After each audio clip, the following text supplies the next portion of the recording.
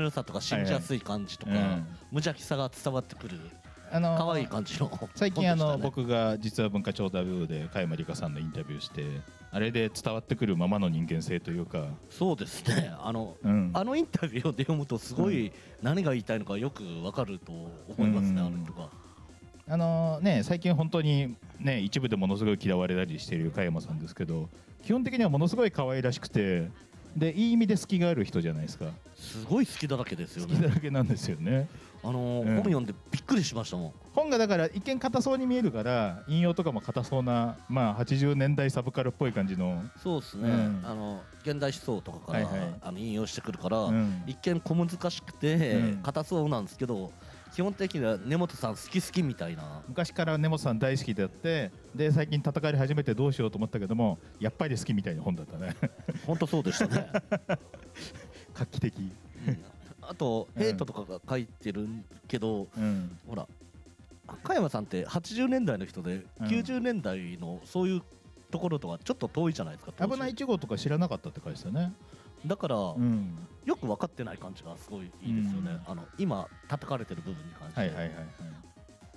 分かってないよねこの人っていう。いろいろ聞いた限りそれは私が関わったヘブンとかに近いのではないかみたいなね。え？っていう。そういう感じの。いや当時からねあの、うん。そうだよって、はいはい。ロマンはねまあこういう本出したわけですけど、はい。90年代サブカルの頃はロマンっていうのはただの大学生？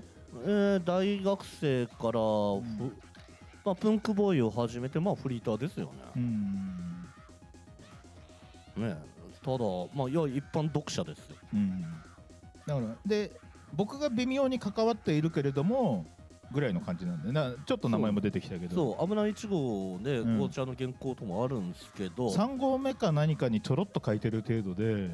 2号かな？2号かな、町山さんも1号に書いてたり、まあ微妙にみんな原稿を寄せてるけどうん、まあねそんない大しわゆる悪趣味カルチャーにはは入ってない側で、そうっすよね、うん、バーストに書いてたけど悪趣味カルチャーじゃない側っていうか、でもバースト自体悪趣味なのかっていうと、うん。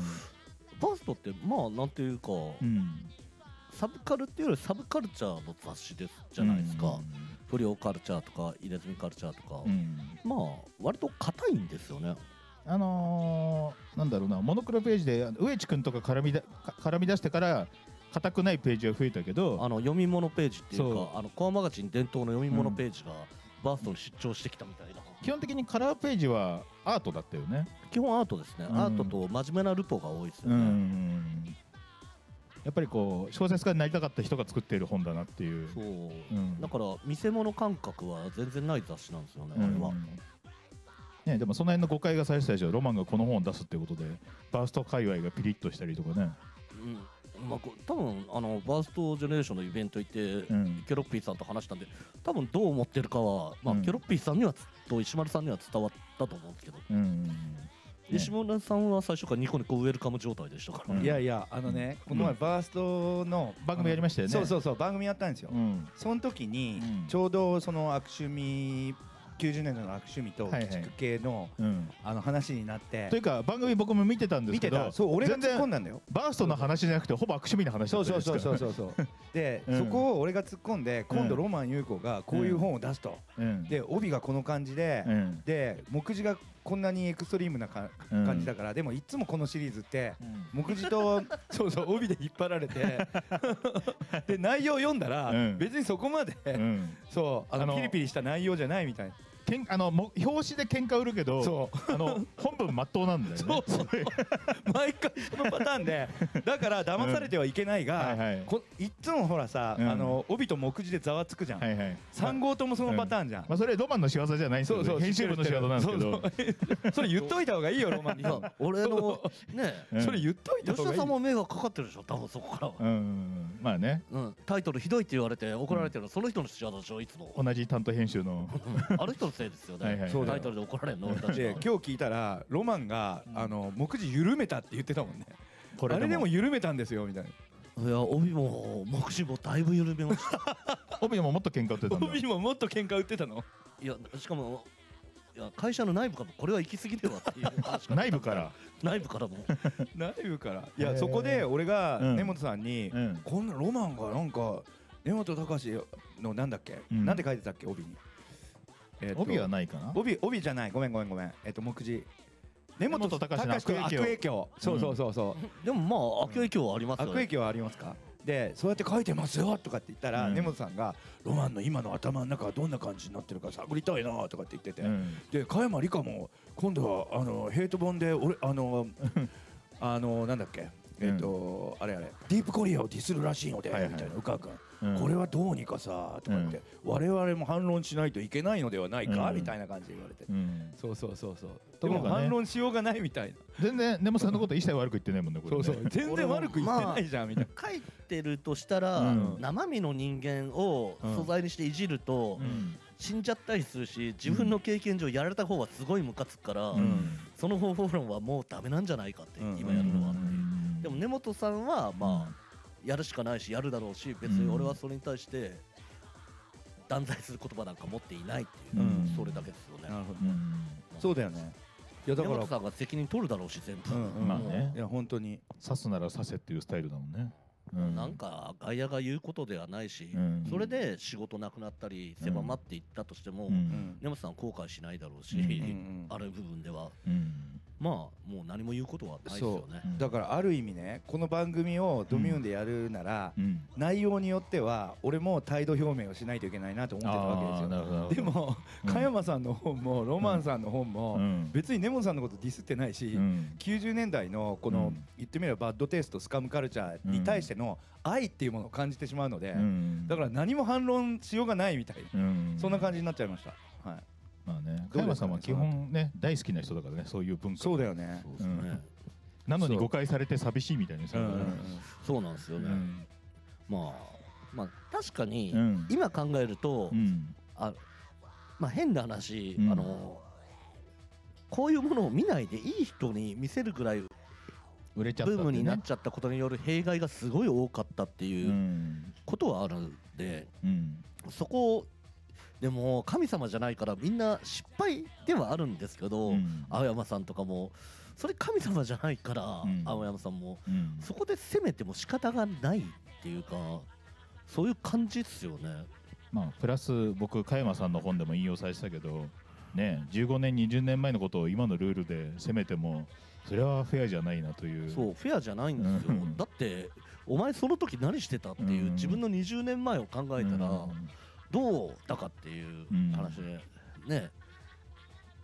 あの某音楽評論家とかもね、うん。ツイッターでね人にね陰着する嫌がらせばかりしてたのに。誰のことだろう。うん、高橋健太郎さんですけどね。それであのへね人権意識が高いかというと僕なんか奥さんの悪口まで言われてるし、うん。そうなんだ。そうん いやそれ人権意識が高かったって言われても、うん。それはそれででもまあツイッターのノリ今と違うから今うん。責めても仕方がないし、うん。健太郎さんのことを、うん。そういうスノップな悪ああいう感じのノリがあったから、まあ今そんなことしないだろうしあの人も、うん。もうさすがに。うんまあそれと同じだとは思うんですけどね。うん。当時から俺はそう思ってたと思うけどうん。それはあなたがそう思ってても一般的にはあんまそう思ってないからうん。気づかなくても仕方がないんじゃないですか？ってうん。とは思いますね。でもあの時期に関しては本当になんだろうな。まだぼ自分に関して言うと僕がまだ知名度もなかったこともあってそんなにオファーされてなかっただけって気持ちでそう。もしもうちょっと言ってたら先般片足突っ込んでた可能性はある。な先般扱いを。の可能性もあるなと思うけどだからまだ本当に多分危ない1号の別冊で牧先生のインタビューやったとかそれぐらいの緩い絡みだったから。うん、うん。そうっすね、うん。あと漫画表数あまあ漫画地獄編とか。あのいや危ない1号で、あのあはいはいはい。梶原系のエクストリーム漫画の紹介とか、まあ、いつもの仕事だもんね。うん。完全に。あのいつものうん。あの雑誌から切り取っていつも同じうん。はいはい。テイストのあれですうんからね、そうですね。うん。いやだからあれですよ。多分僕がほとんどに書いてるんですよ。その頃？そうその頃そのあーいや出る本出る本宇川さん想定でした。想定でした。頃俺想定もしてるし、中もあの中も書いてます。うん。出る本出る本。だから、うんあのまあ例えば一番最初どどこを拠点とするかって考えたら、うん。やっぱりゆりいかの「悪趣味大全」と、うん秋田正美さんの「スカムカルチャー」水と、星者ね。はいはい。うん。はい。でその直後に出た映画秘宝だと思うんですよ、はいはいはい。そうで多分そこから、あの言ってみれば90年代以降の,、うん。あの鬼畜系サブカルチャーってまだその当時はもちろん言われてなくて、はいはいはい。あの危ないイチゴが出るのってそのうん2年後とかなんですよね。うん。そうそうそうでもちろんそのそれ以前に青山さんとか紫さんっていうのうは、ん。あのそれぞれお書きになられていたんですけど、うん。多分そのトレンドになったのは当時世紀末だったってことと、うん。そのユリイカで総括された流れっていうのがそこからなんだろうな商品価値を持ってしまい、広がって拡散されていくんだと思うんですよ。でゆりかとか秋田正美さん的なインテリジェンスな部分を外したそうもうちょっと分かりやすいものとしてそうそうそう広まってそうそいうって。そうですそうです。うん。だから、うん、秋田さんの方が多分全然先に出てますね、出てます出てます、ええ。スカムカルチャー。うん。スカムそれのカルチャー出たの？いつだ、えっとね。スカムカルチャーが94年っすね、まあビバキコさん編集のね。そうですそうです、はいはいはい相良さんねすごいいい仕事してるんですよね、うんいい仕この時期。事してる。本当はね。うんあのだからゴーちゃん書かれていた、うん。あの漫画地獄編とかも相良さん仕事ですもんね。もちろんもちろん。そうそう。あの時に僕はサンフランシスコに引っ越すんで、うん。だからゴーちゃんと入れ違いになってる感じうです、ん。そうそうそうだから全然その時期は接点がなかったね。そうそうそう、うん全然接点なかった。植地君と俺仲良かったんだけど、うん。そう接点なかったんですよね。うん。でロマンはななんで今ガラケーをいじってんですか？え？ハッシュタグを見てるね。見れるんですよ。これはガラフォなんで。中身アンドロイドなんで。あまあ、だから何かっていうん。DTP カルチャーも当時、うん。あの出てきてそれまで社食で印刷指定だったのが、うん。マッキントッシュデザインできるようになってだから言ってみれば自在に悪趣味を操れるようになったみたいな。CG とかがね気軽にできるようになって。そうですね。うか君のああいうアートワークがねそうですそうです。普通にできるようになってそういう感じじだったんですね。うん。でその流れの中で、うん。やっぱりまあこの前も言ったんですけど、うん。そのまああの悪趣味大全にもね書かれてるんですけど、うん。ジョン・ウォーターズは果たして悪趣味なのかっていう話議論があるんですよ。でバッドテイストっての象徴っていうのはあのジョン・ウォーターズなんですけど、はいはい。そこにバッドテイストに対しての批評性があるから、うん。だからグッドテイストにあの変転してるんですよ、うん。ジョン・ウォーターズの場合は。うん。つまり何かっていったらバッドテイストに対しての批評軸がきちんとあるっていうことですよね。でそこから批評性が失われていって鬼畜系になっていく。うんでそこからメンヘラに流れていって、うん。あのジョン・ウォーターズではなくて本物のディバインが登場していくっていう、そのカルト的熱狂を生む構図っていうのがあって、でその境界線上に紫百郎さんっていうキャラクターがうん。存在していて、つまり あのディバインと、えージョン・ウォーターズを同時に演じられるのが村あの紫百郎さんってキャラクターだったんじゃないかっていう分析なんですけど僕は、ね。はい、どうですかね？いやその通りだと思います。よね。うん。あそうそう。のねパフォーマンまあ観察される側と観察する側両方やってる人ですね。ん。そうだよね。でディバインがディバインに殺されて、うん。あの鬼畜系サブカルチャートレンドっていうのが終わったような気がするんですけど、うん。うん。まあ結局例えばディバインいるじゃないですか、ディバインすごいなと思って見てるじゃないですか。すごくてかっこいいと思って見てる。うん。うん。のがディバインだったのが、うん。うわデブのオカマな一瞬投げてやれ。面白いって 思う人がどんどん入ってくるじゃないですか、うんうんうんディバインかっこいいとかああいうんじゃなくてね。うんうわあの気持ち悪いの見た気持ち悪いよね。とか言ってうんバカにする人たちがどんどん入ってくることによって形骸化してったわ気けですよ、ね、持ち悪いおかまがうんこ食ってるよみたいな。うん。かっこいいでしょ？その表紙が。うんすごいとかかっこいいでしかないはずなのに。うん。まあ要するにまあまあどこでもあるバカに見つかる現象が。そうだね。本来一番見つかりにくいところなのになぜかあの時期に大量にうん。あの本来だったらそういうものをを理解する感性のない人が流入してきたのがうん。うん90年代の半ばから鉄で。しかも本にも書いてあるんですけど本当にひどいのは90年代終わってからのうんあのコアマガジンのあの、ね裏部部下とかはい。裏あのね そっちだね。あと裏物の本とか別にサブカルでも何でもなくうんてひどいことをしたら売れると思ってる、あのあのなんていうかモラルに反することをやってアピールしたら売れると思ってるうん。本が大量に出たじゃないですか。あの猿を殺す文化とかだね。はい。わかりやすく言うと。あのまあここにもある子供にうんこを食わせてん。動画でを撮ってうん。売るみたいな文化ですよ。それ何年ぐらいですか？2000年代90年代末から2000年代ね。頭裏部部か？あのバッキーとねうなんだが仲良しだったりするような。サンフランシスコからもう帰ってきてるので、うん。俺3年ぐらいブランクがあって、うん。だからバーストの時代って実は引っ越してるからあんま知らないんですよ。あのキャロライナのうちにいた頃でしたそうっけ？そうそうそう、うん。グラックスね。のあの家にも部屋借りてたんですけどさっき言った文脈って実はなるほどなと思うんですけどだから俺ツイッターでその悪趣味のあの歴史変遷みたいなのを、うん。竹熊さんと辿ってた時期があーやってましたね。やってましたやってました、はいはい。でなんか明治でうん。前史が宮武骸骨の滑稽新聞から一応始まっていて、うん。でエログロネアンセンスの時代がもう大正に来るんですよ。で宮武骸骨が変態知識とかを出しながら、はいはいはい。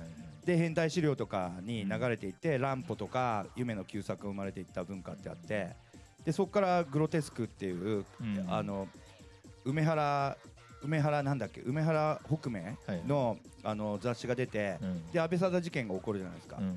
でエログロナンセンスが終焉した後にカストリブームが来るんですよ。はいはいはい。でそれがリベラルとか、うん。その後キタンクラブを生み出す流れにつながっていくんですけど、裏窓とか、うん。それが多分悪趣味バッドテイストスカムの後に出てきた裏ブブカとかだと思うんですよね、うん。だから現代のカストリ誌だから2000年代初頭のカストリ誌が裏ブブカとかだったんじゃないかなとかって思うんですよね、うん。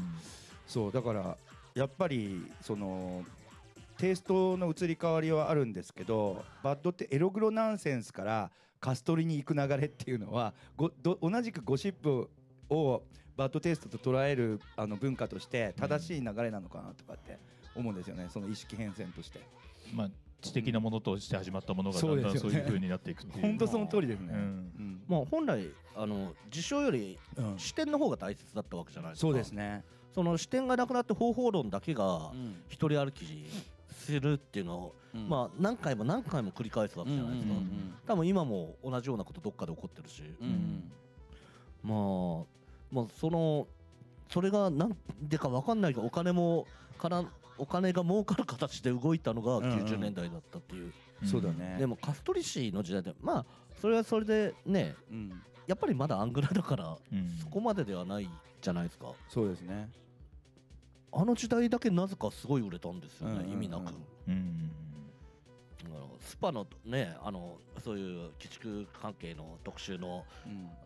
記事を見るとあの生きった人たちがフリークスを見ることでなんとかかんとかとか言って絶対思ってないだろ。俺お前お前面白いと思って見てるだけだろ。みたいな、うん。とか生きった写真に写ってるじゃないですかいっぱそれ例えば誰ですか？いいや素人です。あ素人？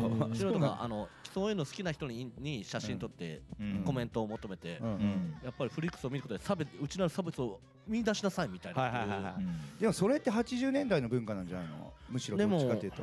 でもそれは、うん。それは言い訳で、うん。多分ね大抵の人はね面白いと思って見てただけですよ、もちろんもちろん。俺でそれを面白いって言い言い始めたのが90年代だと思うよ。そうはっきり、ただ面白いってうん。けどそれは悪いことなんだよっていう自覚もあったわけじゃないですか、うんうん悪いけど人間ってこういうものを面白いと思っちゃう最低の生き物だよねっていう話。だって80年代のフリックス評価と絶対違うよね。そうですよねそれはもうポストモダン的なね、意味合いの付け方があったじゃないですか、もっと平田博的なっていうかさ虐げられるものの逆襲としてうん。普通に感情移入して見るようなものだった感じがしたけど。そうですね。うん。90年代はエンタメ化ですよね、そう思うそう思う、うん。でやっぱりそのさっきの文脈から言ったらその後例えば k o さんがうん。あの全権を持ってる家畜ニアプーの流れだったり、うんそこから裏窓とかあとやっぱそこからはあれですよね SMC でうん。キタンクラブだから風俗キタンとかの流れがあって、渋沢達彦のあのチトバラですよ、うん。そうそう。絶対ここ原点じゃないですか。でチトバラの流れから今度はあの今野さんの野草とかが生まれてくる。野草もフリークス号あったでしょ、ありありまあした。ねりましたね。さっきロマンさんうんおっしゃってたような視点で語ってるわけですよ。言ってみればね、そうそう。だからそのその流れから出しようとしたのが高杉ダンさんと山崎さんの X マガジンとかジャム、うん。ヘブンの流れだと思うんで。うん。だから言ってみればその野草からこう直接的になんだろうなあの批評を超えたところにあるうん。実際の感情みたいなものをうん。受け手としてのあのむき出しにしたのがやっぱうん。X マガジン、ジャムヘブンのうん。流れでそこから青山さんが生まれてくるんだと思うんですよ、突然変異、うん、でもやっぱりそこら辺まだ反権威とか反まるがあったじゃうんないですか、あったね、ただうん、青山さんはまああるんですけどもっと紳士じゃなくてもっといたずら気分だけで、確かに。ふざけてるだけだったんですよね、うんあの人、うん。うんそれがすごい面白くていいところなんだけど、うん。でもやっぱりねっていう、うん。後から考えると青山さんもその中でも暴流だったわけじゃないですか、80年代は。それは90年代なぜかそういった文化の主流みたいになっちゃったわけじゃないですか。売れたことで。うん。あのそこはね本人も予期してなかっただろうしうん。ちょっとまあ俺80年代からねうん。中高の時からそういうものを見てるんで、うんうん。もう90年代は、まあ、そういうものを踏まえた上で見てるんですけど、まあふざけてるなと思って悪ふざけあの、うん。分かった上で悪ふざけだと思って見てたのが、うんあれこれ本気にしてふざけ本気にしてるやついっぱいいるぞみたいな、うんうん。なってビビったんですよね。なるほどね。当時のさあのレンレンタルビデオブームも裏側にああるんだけどまあカルト映画ブームがそうですね。だから映画秘まあ町山さんが仕掛けた。あそうですそうです、うん。町山さんが仕掛けた、うん。あのブームっていうのが裏側にあるんだけど、うん。そこのあのパッケージの裏って青山さんが書いてるケースがすごい多かったの当時、うん。そう。TCC ってレーベルがあって、はいはいはいはい。そこのうんあの原稿っていうかパッケージ裏の、あの解説概要うん。みたいなのは青山さんがほとんどまとめてた時期ありましたね、うん。そうそう。僕でも青山さんはほぼ接点なくてうん。青山さん末期ですよ。データハウスでえなんか漫画の謎本とか作らされてた時代の青山さんと仕事してますよ。えマジで、うん。あじゃあもうあのーあそうなんだ。じゃあ、悪趣ンブームの後。あとあそうなんだ。もう何の興味もない漫画の謎本作らされてて、で僕も何の興味もないので、まあ、青山さんのオファーだから引き受けて、うん、お互い手探り。危ない十六号とか出た後でしょそうそうそう。そうそうそうそう、ああそうなんだ、うん、あすいませんビールください。はいはい。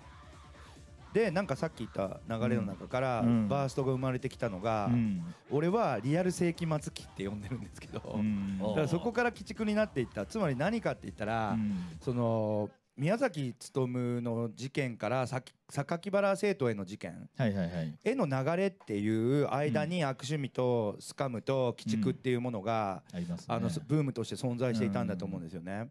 であのその第一次のエログロナナンセンスの終焉をね、あの安倍貞の事件って置き換えると考えるならば、やっぱりその2つの事件の間に起こったことを、うん。うんうん、起こったトレンドトレンドって言っていいと思うんですけど、うん。が多分今回ロマンさんがこうやってあの一冊使って語ってるようなあの時代の,、うん。あの呪いの全てだと思うんですよね。うん。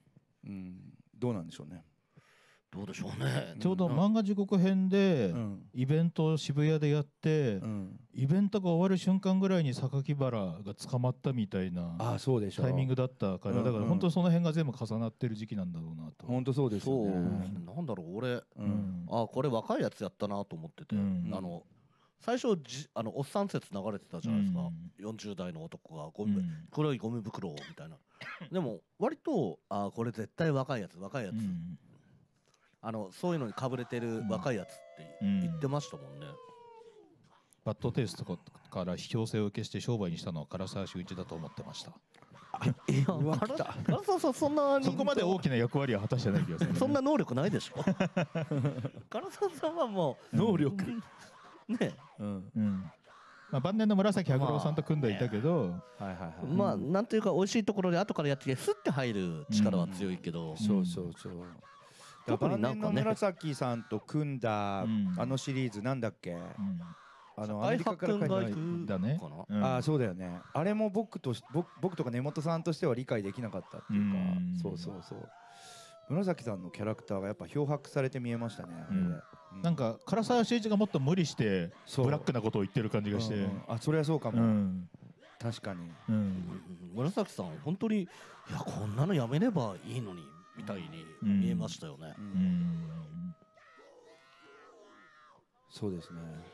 あの同じ県でした僕も、うん。うんでもね紫さんね亡くなるギリギリ前にドミューンを見てくれ。おうドミューンのことをうん。あの本の中で評価してくれてるんですよ、うん。で紫さん2010年その、うん。多分3月から僕らうん。あのストリーミングしてるんですけど、うん。その数ヶ月後にお亡くなりになられ、うん。だからつまりディバインにディバインが殺されたって思ってるんですけど、うん。でそこで一番最初に追悼番組したのもこのドミューンなんですよ、はいはいはいはい。そうそうそう。うんだからそういった意味でその呪いの連鎖っていうのを浄化したっていううん。意味はあのーその番組配信ではうん。形にできたかなと思ってるんですけどね。う。ん。うん。そうか。宇川君も相当な当事者なわけですね。そうそうそう、うん。相当な当事者ですよ、うん。うん。と思ってます。まあ本当にね根本さんの影響ってものすごいでかいわけじゃないですか。そうでしょう。サブカルチャーだって全般あの野間さんもね、うん。ディープコリアの影響を受けたってうん。言ってましたよね、野間さんっていうのがこのディープコリア批判のまあね口火を。口火を切ったっていうか野間さん周辺の人が切って、野間さん自体はまあ影響はあるかもしれないけどってやっぱりちょっとうん。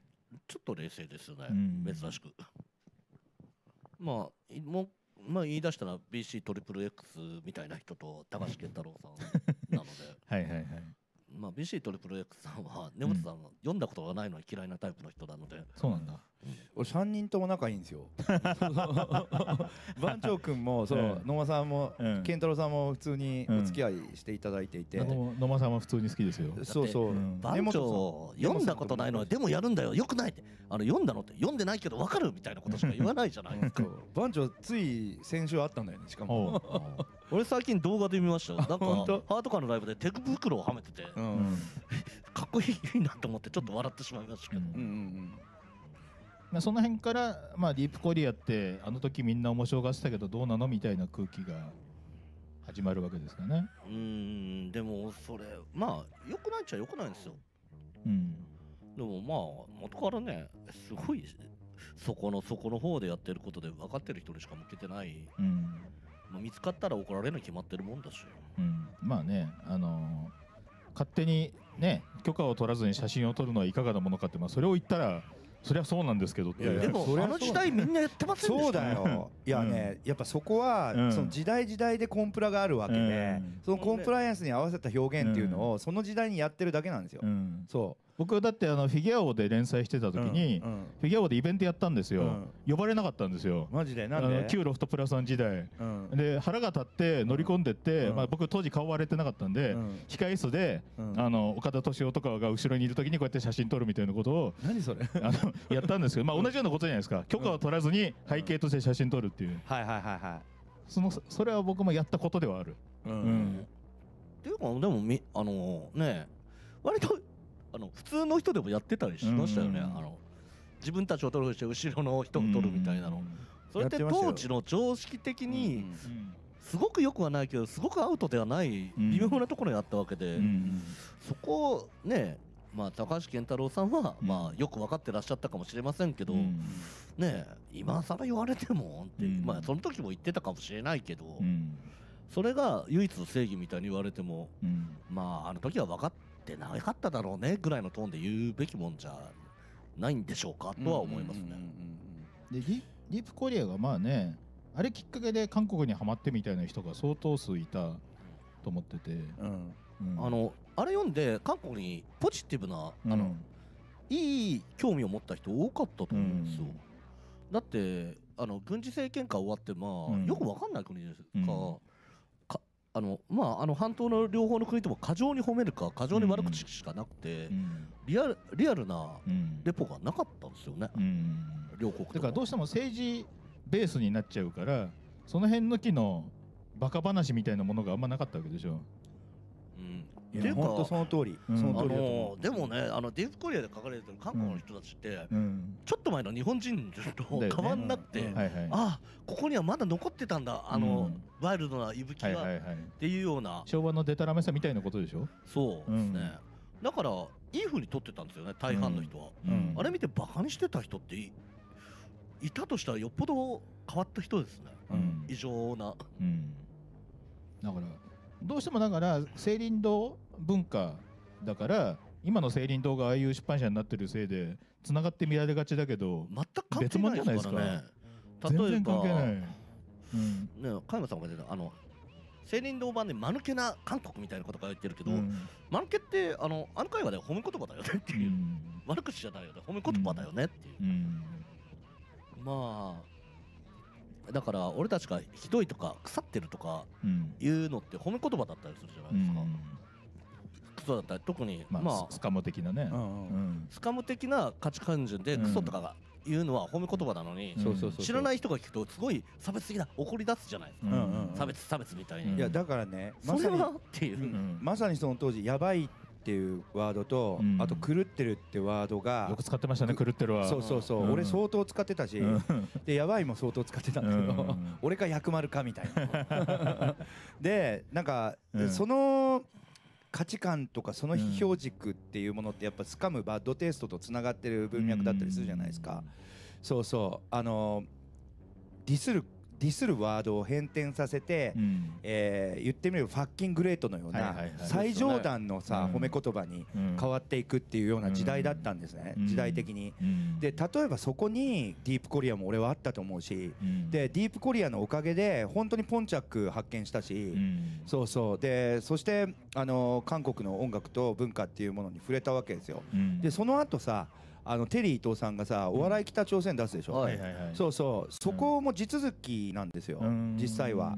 でお笑い北朝鮮もやっぱり笑い飛ばしてるんですけど北朝鮮に対してのうん。インフォメーションってなかなか出てこなかった時代だったんですけどそこにやっぱりあのーやっぱり現地との太い太いあのパイプラインっていうものがあって、あのー淀号の、えー淀号に乗っ取ってラリーズのメンバーがさ、はいはい。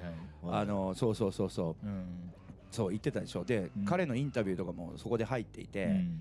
23冊出ましたよね。うん。そうそう。であの情報がなかった北朝鮮のことを知ることになったんですよ。うん。でそういった意味ではやっぱディープコリアとあのお笑い北朝鮮のおかげで、うん。えー当時の南北の朝鮮っていうものを知ることになったっていうことですかね。だからそういった意味での資料的な価値、うん。インターネットがなかった時代の資料的な価値っていうのはうん。めちゃくちゃあると思う今も。うん。その批評軸がどこにあるかっていうのはやっぱ時代時代のコンプライアンスでうん。判断すべきことなんだと思うんだけど、うん。当時はそうじゃなかったってことですよ、うん。だってあのスーパー写真塾とかねパンチラ雑誌があった時代ですからね、まあそのパンチラ雑誌でう。ん。ねまあうん。電気グループだなんだとかずっとあの山塚愛とかが山塚愛さんも連載してたのでそこでそういう音楽知識を得ていくでそれを目当てで僕はスーパー写真塾を買ってうん。そこで連載も頼まれるようになるっていう流れがあって。う。んそうなんだよね、うん。いやだからエロ本で育ってるんですよ僕らは。完全に僕もエロ本で育てられ本当にそうですよね、うん本当にスカムカルチャー、バッドテイストっていうよりもサブカルチャー全般っていうか、オルタナティブがエロ本にあったっていう時代だったんですよね、うん。ジャムヘブンの時代からあの続いてる脈々と続いてる文化だと思うんですけど。90年代だから一番自由に原稿を書けるのがエロ本だったから。そうなのよ、うん。だからそういうのを最後の世代が俺らぐらいじゃない、うん。そう。もう俺が一番最後ぐらい、うん。うん。僕もエロ本で連載やってましたからねその当時うん3冊ぐらい、うん。アメリカ行く前ね。はいはいはいゴーちゃん今もやられてますもんね。いやでももうなくなった。あ本当？エロ本のモノクロページ自体が消滅したから。あそっか。うん。そこでだ。エロ本も消滅したしうんうん。ほぼ。余裕がなくなっちゃった。もう DVD マガジンしか生き残れなくなったから。なるほどね。うん。そういうことか。そうそうそう。コアマガジンエロ本出してないっすもんね。うん。うん。そうだね。あタイムラインめっちゃ盛り上がってますよ、うん今回の本の小山田圭吾問題とか語る？へえだって別にみんなが期待しているような話書いてないですよ、うん。でもねほら帯に名前出てるし。だって別にこの人が 書いただけで俺は別にそんなにしたくはないし。個人的にはすごいかわいそうだと思ってるよ。いやあのーうん。持ってるとも思うし、うん。あのでもバカですよね。うんあの編集者と大山田君編集者まああの時代の QJ がおかしかったというのが正解だと思もううん。例えばそれって根元的なものをやろうとしてるとは思うんですけど、わかるわかる。でも俺本に書いてる通り、うん。あの語り手が加害者であってはいけないじゃないですか。根本さんの内田研究という、まあ、うんものがいろんな人に影響を与えた部分があるわけじゃないですか。あのいわゆるね根本さんの大学の同級生のサイコパス的な人物のうん。観察日記、ううんん。本格的にやばい暴力的なでねおばちゃんをセックス支配するような、でも後に思い出すと、うん。かわいそうなおばあさんを助けてあげたっていううん。記憶と、うん。年上の美女と熱い恋愛してたけど引き裂かれたっていううん。2つの記憶になってて、本人は全然うん。その年おばあさんをセックス支配してうん。店を潰したっていう風には解釈してないってういう、うん。しかも矛盾する記憶が2つ、何の問題もなく本人にうん。存在してるっていう。あれってやばさうん。人生解読ハトバですかね。うん。そうなんですか？かな？因果鉄道の旅じゃなくて人生解どっちだろ読ハトバの？両方出てるよね多分うん。内田さんは。うん。そスターですからね、ううん。ある意味。スター。確かに。だからそれみたいなことをやろうとしたけどそもそも間違えてたってことでしょ？うんと思うんですよ、うん。あのこの時代そういう間違いみんな犯してますよね、うん。だから俺あのー基人研究ですらもなんか根本さんの真似して、ミニコミの、うん。はいはいはい。あのこういう人をバカにして不快なもの、うんやつなんだなと思ってました。うん。でもうん根本さんやっぱりうまいんですよ、うん。っていうか根本さん自体ね見たらわかるけどあっち側ですよ。うん。うんあのー最近の隠し撮り根本さんが一番やばいでしょうか？ああね。さあディープコリアの新しいバージョンを作るみたいな感じで。もういまだに隠し撮りどうかなっていうのはあるんですけど、うんうんどう考えたって根本さんが一番すごい顔してますよ。まあ、根本さんのビジュアルが激変したからね。いやでもこの期間に。90年代ぐらいからもう、うん。ビジュアルすごかったですよ、あのある段階から山使いみたいになってるもんね、うん、どんどんすごくなってって。あのうんだからねそうじゃなくてこの人もここってういう、ん。あのこっち側の人がこう見てんじゃなくて、この人ここにいてうん。この中の自分の実存を探してるとかそういうのに近いっていううん。感じじゃないですか。うん。ねえ根本さんに対してそういう勘違いあるような気が。うん。安全圏から人をいじってるっていう、うんそうではないんですよそうではないですよ、うんあの哲学的域までうん。高めてるんですよ、かあの観察眼を、そして全く安全圏じゃないですもんね。そう基本全く安全圏じゃないの。そこがすごいのよ。火を浴びる覚悟でやってる人じゃないですか。いや本当ですよ、うん、そして常に火を浴びてるっていう。か、うん。うんそう。うん。だからねその悪影響を受けて、うん。あ形だけ真似した人たちは全然違うんですよ、全然違いますね、ただまあ悪影響を与えた責任はどうなの？って言われたらうん。ちゃんとした人にうーんって言わざるを得ないですよけどね、でもまあしねえ。うん。っていう今言っても仕方がないんじゃないかって。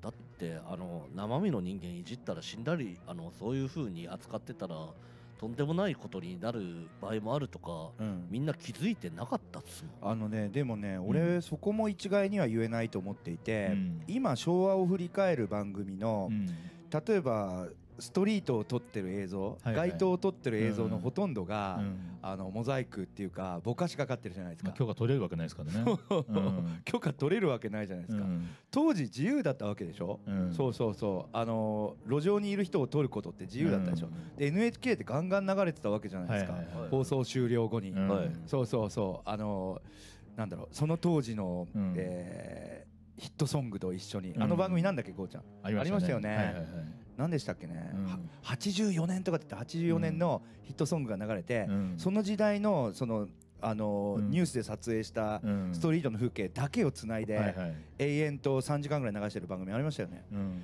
そうあれももうできなくなっちゃったでしょ？無理ですよ。無理ですよねでそれを考えたらさ、うん。あのやっぱり根本さんが当時、うん。ディープコリアでやってた手法っていうのは手法って言っていいと思うんだけど、うん。その時代はありだったわけなのそう、うん。全然ありだった全然ありなんだよ。肖像権的な、ね、概念がもう相当緩かった時代で。そうそうそうそほんで今考えると、うん。うん。あの時はね分かんないじゃないですか、うそうなのよ。でも確かにね当時の雑誌ひどかった。ひどかった思い出した。あのそうそうそう。あのうん。うん。あのねここら辺だけじゃなくて、うん。一般のうん。普通の雑誌がそういう感じ、僕が当時宝島で仕事したヘンプロ時代に別の企画で取材した女子高生がいたんですよ。うん。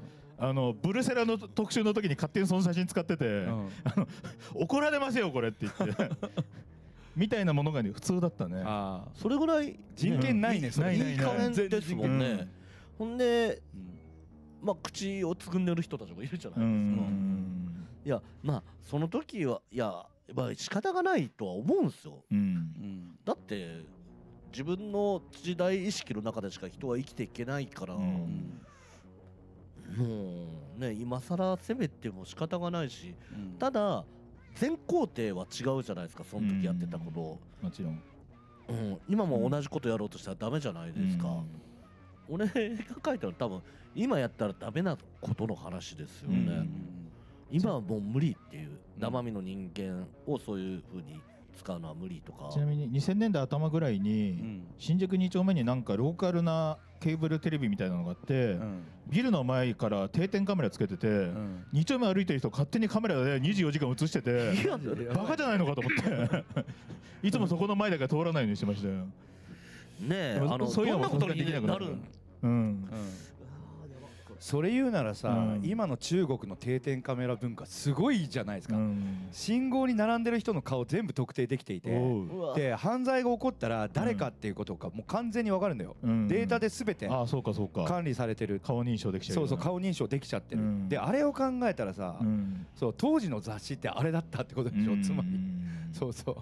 やばいよね、うん。でもね、ううん。ん。やっぱりさっき言った根本先生の悪影響っていうのをどう捉えるかってことなんですけど、うん。つまり根本隆さんになろうとしてもなれなかったやつらの話ですよね、うん。それって。で根本さんの話だったらやっぱりそのさっき言った「人生解毒鳩場」と「因果鉄道の旅」とうん「心理先生」っていう素晴らしい書籍をね。2000年代以降に出されてるんですよ。うん。みんなね俺それを読んでほしい、うん今ディープコリアンのこと語るんだったら、うん。心理先生を読んでもらえれば、うん。あの全て覆せるような根本哲学っていうものがそこに溢れてるような気がするんですね、うん。僕は。心理先生を改めて読むことが重要だと思うんですよ、うん。はい、だからん電気菩薩すらみんな読んでないんですよ。あ電気菩薩、うん。そうだ。それもありましたね。あのあじゃあ4冊読まないといけない、あの電気菩薩ね、まあ文庫化されたのがねうん。前の2つだけだからね。うんうん、そうだね、うん。電気菩薩結構重要なね、うん。証言がいっぱい入っててびっくりしたんですけど、うん。うん。久しぶりに読み直して、うん。うん。えこの人こんなとこことやってたの？みたいな。うん。日本酒のパッケージも電気ぼあ出てますからね、うん。電気菩薩ね。いやーあれね後編も出ないですけど、うん。だから何かねそういうこと当時のクイックジャパンとかがその流れに乗っかってたわけでしょ？そう思いますね。そう見えてそうだと思う。あの、うん。そう見えてましたね、うん。あの山田花子の本がベストセラーになったりとかもあって。あと、うん。ほらあの政府向上委員会のオタクのはいじり方とかも、うん。なんでうん。アイドルオタクにオナニーの話を聞くのかっていう。怒ってたね。もう全く記憶になかったよそんなのいや割とね政府向上委員会のオタクの人と仲がいいんでね、うん。ことあることにね、うん。石丸さんは面白かったけど政府クイックジャパンはムカついたっていう話によくなるので。うん。政府向上委員会の本の表紙も俺やってました。そうだ。あそうですよね。もう大体やってんだよ。辺の本そうだそうそうそう。ですよね。そう。しかもヤホアの裏ジャケだよあれ、そそう。ヤホアの裏ジャケをサンプリングしてんだよ、かなりりやばいよ今見たら。そうまあだオウム時代ですからね、うんまだあのオウムが崩壊してない時代ですからね、だからファーストサマーブラブのさカルト教団としてヤホアを扱ってるわけなんですけどね、実は奥は深いんですけどね。はい。いやーそうなんですよね。あのいわゆる鬼畜系よりクイックジャパンの方がひどかったりするんですよね、うん。あの危ない1号とか嘘の話とかも多いじゃないですか、うん。本当はいない人の話とか、うん。いても誰だか分かんない話とか、クイックジャパンあのそのオタクの人顔写真も載せてオナニーの話を聞いて恥ずかしめを与えようとうん。一生懸命頑張って、うん。でもね下道にはきあのいわゆるオタク集団なる下道には聞くけどいわゆる当時の性向上委員会っていうのは、まあ、下道と言われるいわゆるねいわゆる今の、のドルオタのおじさんみたいなタイプのうん、あちょっとアウトロー系の、あのグレンがいてうん。それとは別に。うん。あのいわゆるまあ本当のギャング上がりの人たちです、うん。昔の親衛隊文化をに近いような。でそのいわゆるおかしなことになってるっていうんでまあそうですね。QJ がまあ特集にし単行本にもしという流れがあり。でそれきっかけでオタになった人もいまだに結構いたりするというね。ね。影響力はあった本ではあるんだけど。でも卑怯なことにオタクであるん。下道にはオナニーの話聞くのにギャングであるグレンにはオナニーの話を聞かないんですよ。まあシンプルに怖いからだろうね。そういう卑怯なことがうん。聞いて殴られればいいじゃないですか。本当だったら、90年代のレイプスのクイックジャジャパン事件について知りたいだそうです。うわー来た。ね、そそんな話はできませんよ、まあでもだから QJ がいかに迂闊だったのかの証拠だよねあれがそう。ねあと山崎晴美さんの,、うん。あのインタビューもすごかったですね、うん。当時。当時。山崎さんそうそう、うん。長らく音楽活動、うん。うんしてなかった時期ね、うん。でそこでやっぱり山崎さんについて深く掘り下げてたのも、うん。クイックジャパンだったと思うから、うん。簡単に断罪できないっていうか、うん。やっぱり貴重なインタビューっていうのをたくさん残してるんですよ。うん。うん。あのー結局あのうぞうむぞうを使ってて、うん。玉もあれば石もあったっていう、うん。書き手の問題ですよ雑誌の器っていうより。でもあの時には本当にね QJ に乗っかってああいうインタビューが残っちゃった小山田圭吾と QJ と距離を置いて本とかは出されてたけどねあのニューヨークまで会いに来られたけども距離を置いたね小沢健二との違いっていうのがね今になって響いてるなと思うね。そうですね、うん嫌な曲だうんね、でもこんな帯に金井悟って文字が出てるよね。えー、なんで金井さんの名前出してるのと思ってびっくりしまし ありえないと思ったけどね。た いやでもリリスペクト？うん。かなうん。もうある意味90年代のある部分を象徴する人ですからね、あのね、オキテポルシェとね、互換性が強いと言われてた人だからね。うん。テクノやって、格闘技が好きで、それはうちの相方ですごく失礼ですよ。髪が長くて、いや失礼ですよ。女子プロレスが好きで、いや金井さん後期バージョン金髪だから、い というね。やなんでしょうね、まあ。奥崎健三っていうのもね、いや奥崎さんね。うん、いやでも結局根本さんに絡んでくるじゃないですか。もちろんもちろん。うん。奥崎さんって異常者じゃないですか。うん。本当は単なる。異常したまたまそういうシチュエーションにでもなんだろう。で原さんも根本さんも原自分の見たいうん。真実を奥崎さんに求めてうん。撮ったりいじったりしてるだけで。奥崎さんっていうのはサービス精神が異常にある人で期待に応えようとするタイプであるわけでね。あとその後で自分の中で今度言うことを聞かせようとするタイプでもあるわけじゃないですか、うん。自分の欲望のままに。はいはいやっぱり原さんにもあの性的なものを、うん。あの調達するように要求してたりするからああずっと同じなんだなって。そうそうそう。最近になってね原克夫さん一緒にイベントやった時にいろんな話聞きましたよ、うん。うん本にも書いてあって、うん。ああ奥崎さんって最初からそういう人で、うん。原さんは作品化する時そういう部分をきはカットしてたんだなっていううん。のはすごい分かって。あの情けない奥崎健三を出さずにうまいこと作ってたんだよね。そうあの、うん。人ば人からね不快に思われる部分は出さずに、うん。そっちだけをうん。そっちの中の宝を探したのは根本さんなんですよね、うん多分一般性じゃなくてそしてでも根本さんもそこで結構な火の粉を浴びて距離を置くことになる。ねえ本物は違いますからね。うん。でもだからだよね。だからあのやっぱりドキュメンタリーや嘘をつくっていううん。本を森達也さんが出されてうん。いますよね。で、はい。その文脈でやっぱりあの原さんもドキュメンタリーや嘘をつくっておっしゃっていて、うん。でその嘘をつまりあの当時の雪来て新軍の奥崎健三っていうのは偶像だったわけじゃないですか。うんはいでその偶像からあの真実をあぶり出し出そうとしたのが多分根本さんだったと思うんですね、うん当時。でそのあぶり出してしまったら、うんさらにエクストリームな、うんあの本質だったっていうことが多分見えたのが神様のウイやつだったと思うんですよ。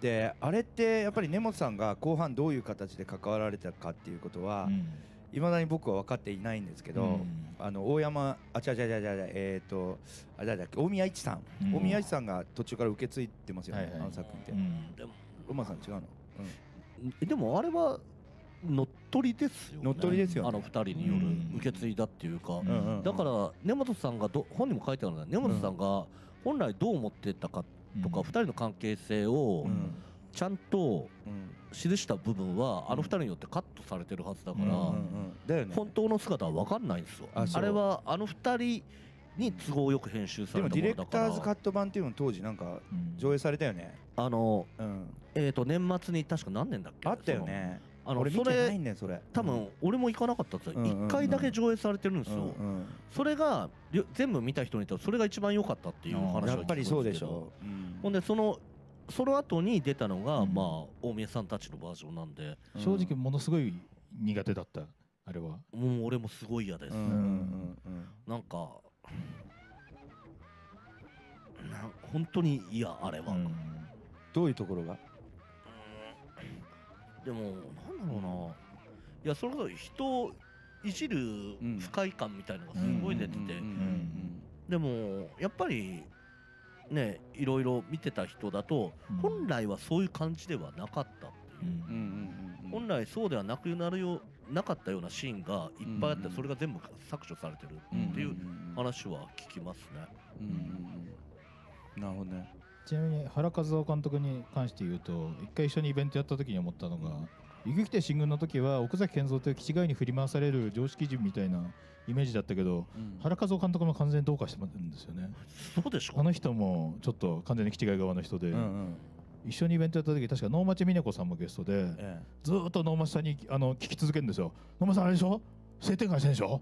セックスどうしてんのセックスとか。すごいですよね。何言ってんだこの人みたいなあそうそうそのうん。ツイツイート読んで、うん。やっぱりそういう人じゃないとあんなもん作らないよ。本当にな。そうだよね。快感はちゃんとあんの？快感はあの自分の妄想のをぶつけてるだけで、そもそもそういう妄想がある人でしょ、原さんも。うんうんあのゆきゆきって新軍って、うん。原さんの中にある真実、うん。それも相当狂ってるじゃないですか、あれうんも。うん。を奥崎さんに見見出してやってるわけで根本さんと何の変わりもないぐらいおかしいですよ、うん。異常者ではあった、うん。いやそれすごいわかるな、うん。なんかだからあの客観性とかさ、うん。公正性みたいなものがドキュメンタリーって重要になってくるとみんな思いがちじゃないですか、うん。でもそこにあるなんかその業のぶつかり合いっていうか、うん。被写体の業と監督の業みたいなのが出てくるのがドキュメンタリーでしょ、うん。そう。でそれがやっぱりあの「雪雪て新軍」には描かれてたと思うし、うん。そこの業をさらに深いところまで、うん。あの見極めようとしたのが多分神様のういやつだったと思うんですけど途中までは、そう途中までは、うん。そうなんだよね。でも、そこを多分さっき言ったように、うん。別の業から乗っ取られたっていう、うん。やっぱりそこで業同士のこう、争いっていうものがうん。あるっていうことがやっぱりそのそここそがドキュメンタルっていうかさ。うん。そうそうあの客観性とか公正性みたいなものの問題ではなくてやっぱ業のぶつかり合いにおいてそこで勝ったものがうん。真実とされるっていうことがドキュメンタリーの面白さなんだろうなと思うわけですよ。うん。でそこで最終的に勝った業っていうのが被写体本人とその一番身近にいたあの大宮一さんだうんったってことなんでしょ、うんうんうん。だよね多分そうか。原和夫さすが田原総一郎の弟子だけある。本当そうなんですよね、うん。直系な感じがしましたすごい。あああうん。一番最初に人前で映像の中でセックスをした人そうそうそうそうそう。強靭。いやー。まあそういう。だからまあみんな変ですよね。うん。でまあ何の話をすればいいんでしょうね。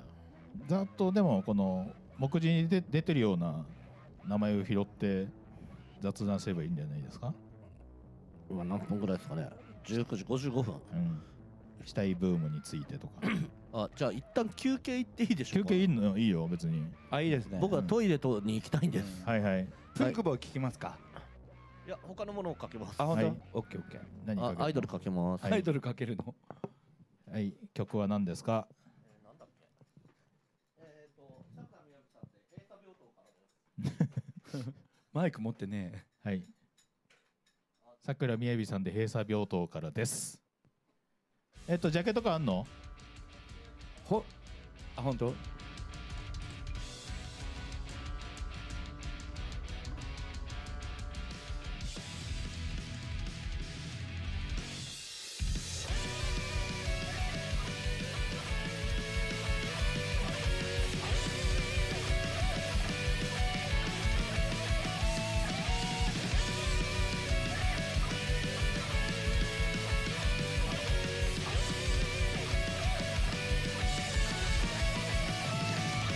空気朝もやの中で寝そべる私なぜか駅の前鼓膜に響くサイレンの音と警察の声耳障り。ふわり持ち上がる単価のベッド地べたよりね心地は悪くない。まだ眠いだけ少し寒いだけ。目覚まし時計はもういい。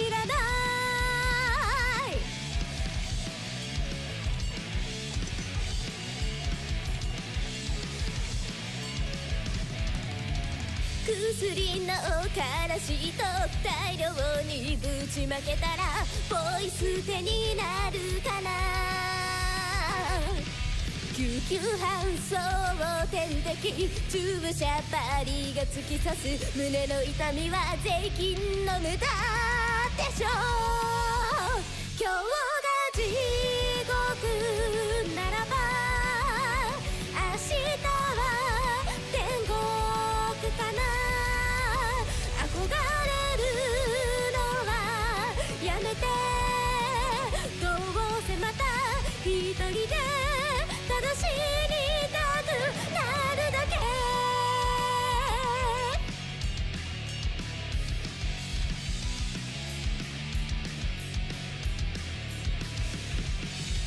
死後のパジャマ左袖の中まだ癒えてない腕の傷の跡。美人状態社会との隔離。閉鎖病棟で殺される。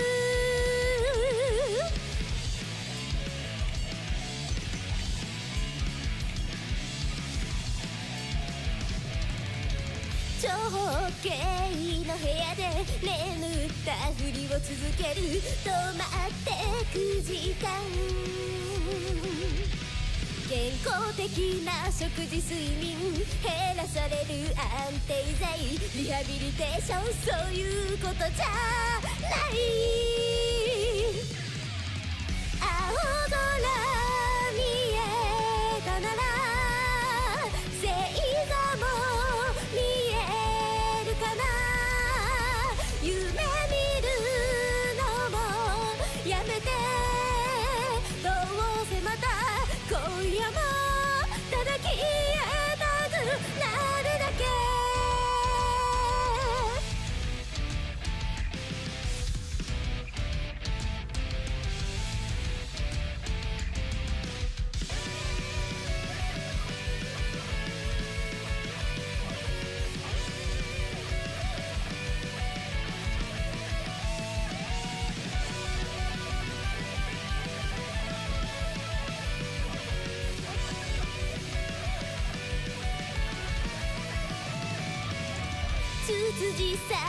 月病かかり出す小バエたち穏やかな日々に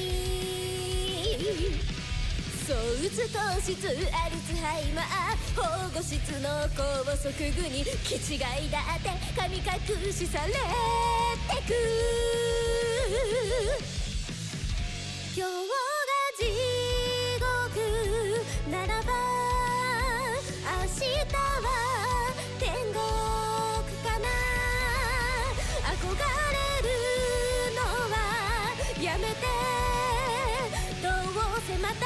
一人でただ死にたくなるのは真っ白で何も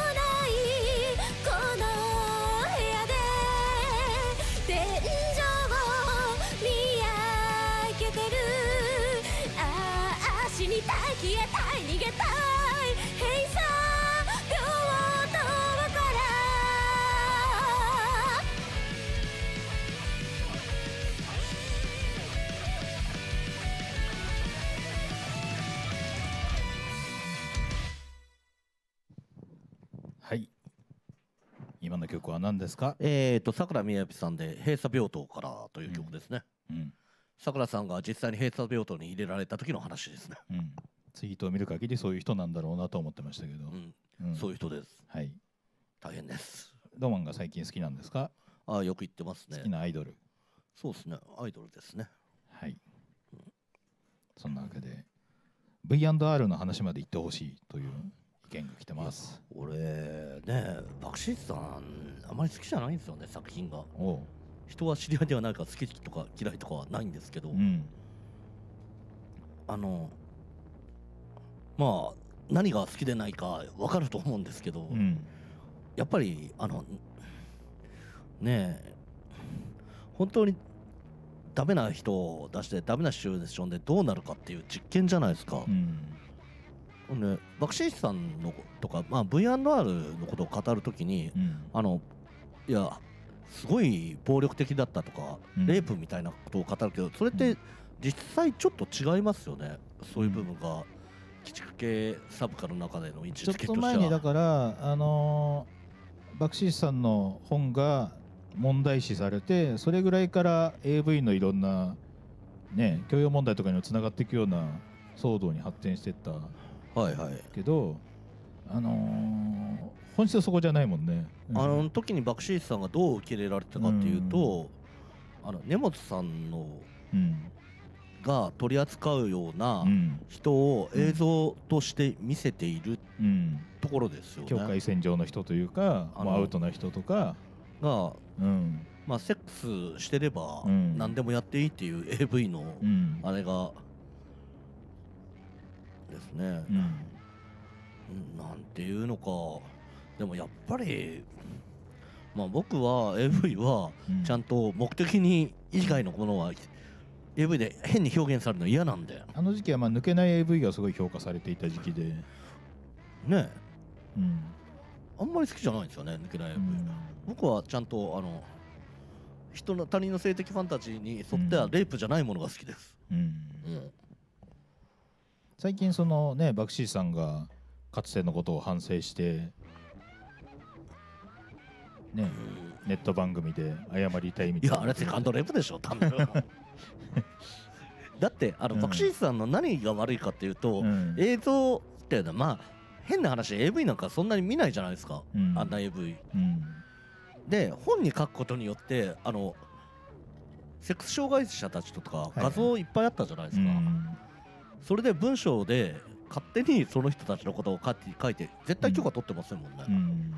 ほんで顔写真付きでうん。それを広めたっていう部分が、うん。でも当時としても、うん。あのちょっとバカにしすぎ？うん。な部分はありましたよね。うん。そこのバランスだよねやっぱね。あのちょっと踏み越えすぎてたあの、うん。わ私も女優にしてくださいってあったじゃないですか、うん。あの面接に来たあまりうん。芳しくないルックスの人たちをの写真とか上げてうん。批評していくっていう、うん。あれもひどかったですよね。その辺がまたいじめちじるぐらいにつながっていくわけじゃない？ああそうだね。いや、うん。すごい嫌ですよね、うん。あのーちょっと前に昨日かロマン有効がその雄三さんのラジオに出てこの本の話なんですけども雄三さんがもう辛すぎてって言ってあの本の内容一切語れない。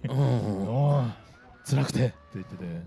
でね里崎梨沙社長が、あの多分飯島千鶴の部分に変な共感の仕方をしたんだろうなと思って。あのね。うん、木をてらって何とでもいいから木をてらって上に行きたいみたいな。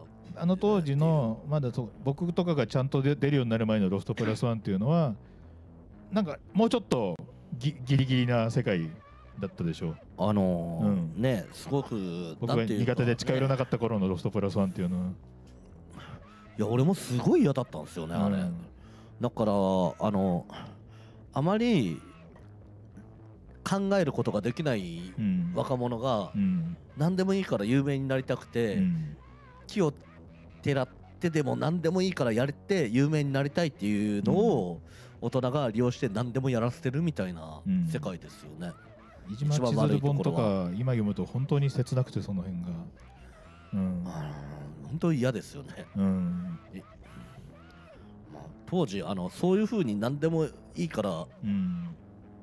有名になりたい人も嫌いだったしう、ん。そういうことをやらせてる人たちも嫌いでしたね。うん。本当気持ち悪かったっていうか。うん。ここでも V&R の番組うん。3回ぐらいやってるんですよ。うん。そう。でまあどういう切り口かって言ったら V&R のあのビデオあビデリンか。ビデリンがなんか新しくなったタイミングで、V&R が3本うん。今まで編集したあ違う違う今まで、うん。あのーリリースした作品の、うん。をエディットした作品を出したんですよ、うん。でその時の VHS のジャケ俺がやってて。またここでも俺がやってんの。そうそうそうそう、はいはいはい。で一切裸が出てこないパうん。ッケージで、うん。恐竜のコラージュなのよ、うん。全部ジャケが。うん。でそういったつながりもあって、うん。やっぱり V&R とは、うん。あのその後も付き合いがあったんですね。うん。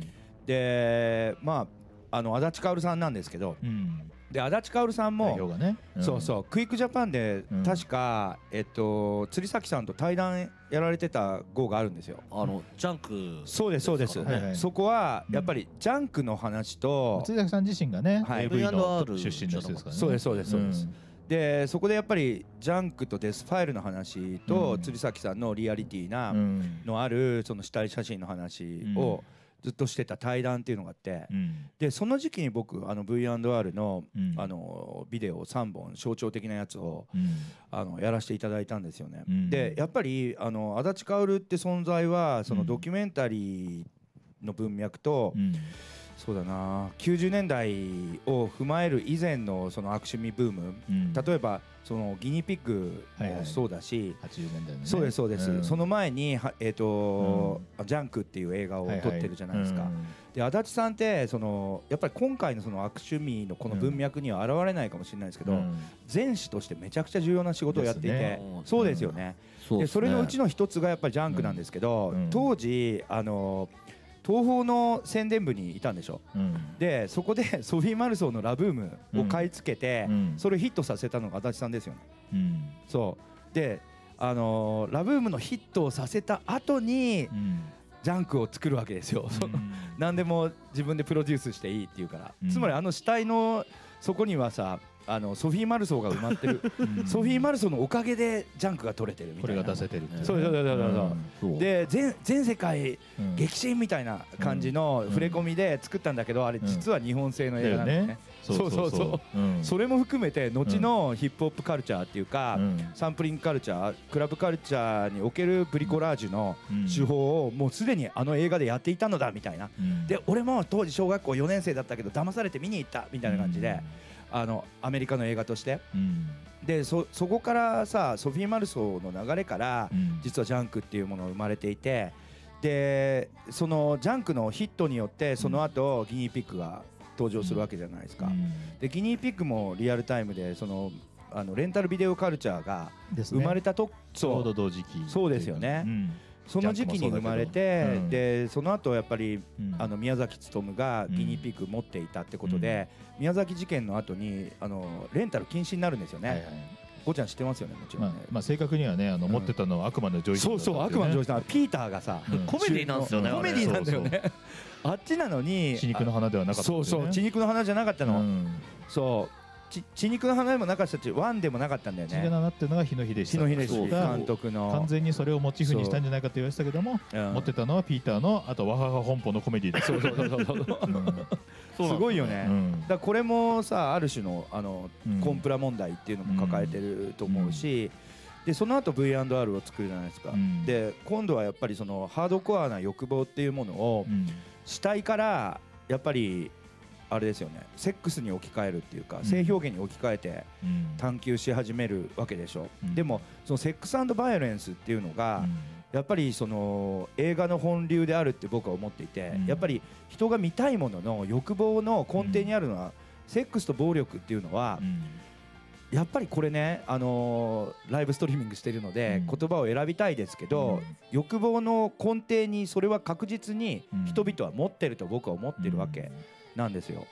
でそう考えたらその欲望をいかにその時代その時代で、そう視覚化していくかっていう問題を抱えてるんですね映像制作者っていうのは。でその文脈においてやっぱり V&R のあの作り得たうん文化じゃないな表現手法っていうのは、やっぱり簡単にはそのディスれないって僕は思っているんですよね。そうそう。うん。うん。だから思うの俺、うん。足立監督作品は別に嫌じゃないんですよ、うんうん。あのーていうか V&R が嫌っていうより爆心さんが嫌なんですよね、うん。作品が、なるほどなるほど。それはなんていうかね、作風としてね。うん。作風として、うんいや俺もこういう扱いしてくるんだろうなこの人みたいなのがすげえ見えてくるから、なるほうん。これあやってきたら殺すぞっていう気分になってくるっていうのを見てたら、まあね。そういうねじゃあ社会と合わない人をああいう状況において追い詰めていくっていうのをうん。やられるのはすごい嫌ですね、なるほどね。ん。で嫌いなんだと思います。なるほど。この本だったらバクシーさんと平野克之さんバッキー事件とかねそんなことが書かれてるわけですけど、うん、でも平野さんのあれってもう映画自体が抱えてる問題点じゃないですか。平野さんがあの 水戸黄門とかでやったのは。うん。もうそれこそ今言ったセックスとバイオレンスの問題をどうやってやるかって言ったのが、うん。平野さん監督の初期作品で、これね、うん。90年代サブからどうのこうのじゃなくて本質的なうん。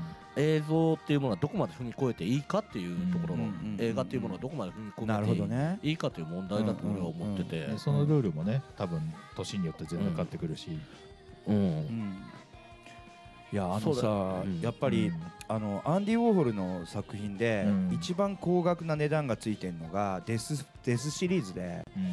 そのシリーズっていうのはあのー電気椅子のそうそうそう、えーシルクスクリーンとか、うん。人がビルから飛び降りるシーンとか、えー処刑台のシーンをうんあのシルクスクリーンにした作品なんですよね。うん。でそれがやっぱりウォーホルの作品で一番高額な値段で取引されてるってことをを考えてもやっぱりそういった意味でのそのなんか本能的な欲望みたいなものをうん。いかに形にしてうん。大衆の欲望をテーマにしていくかっていう表現軸っていうのは常にあると思うわけ、うん。でそれがやっぱりこの90年代のサブカルのね本流になった部分だと思うんですよね。うんでそこってやっぱりその大衆の欲望があの年々変わっていってると思うんですけど当時はそうだったっていう話なんですよ。うんだから昔話になっていて90年代サブカルの呪いっていうのは確かに今もあると思っていてうんその呪いがどういう形で今世紀的な着地の仕方をしているのかっていうのが、あのこのロマンさんの本にはうん。描かれていると思うんですね。だからその部分において絶対買うべきだと思ってます、うん、まあだからだよね、うん、90年代通過したうん。歴史軸も語ってるもんね。うん。で、まあ僕、まあ、プンクボーイやってるじゃないですか、うんうん。そこのうん。まあスカムじゃないですか、うん。そうですね、多分。うん。まあスカムロックのうんうん。まあある種ねまあ第一線にいたわけでまあ今でもあんまり人がいないから第一線にいるわけですけど、うん。ええまあなんだろうな。だからええうん。まあ当然まあ俺この本に書いてある TPO の話なんですよね、うん。結局。うん。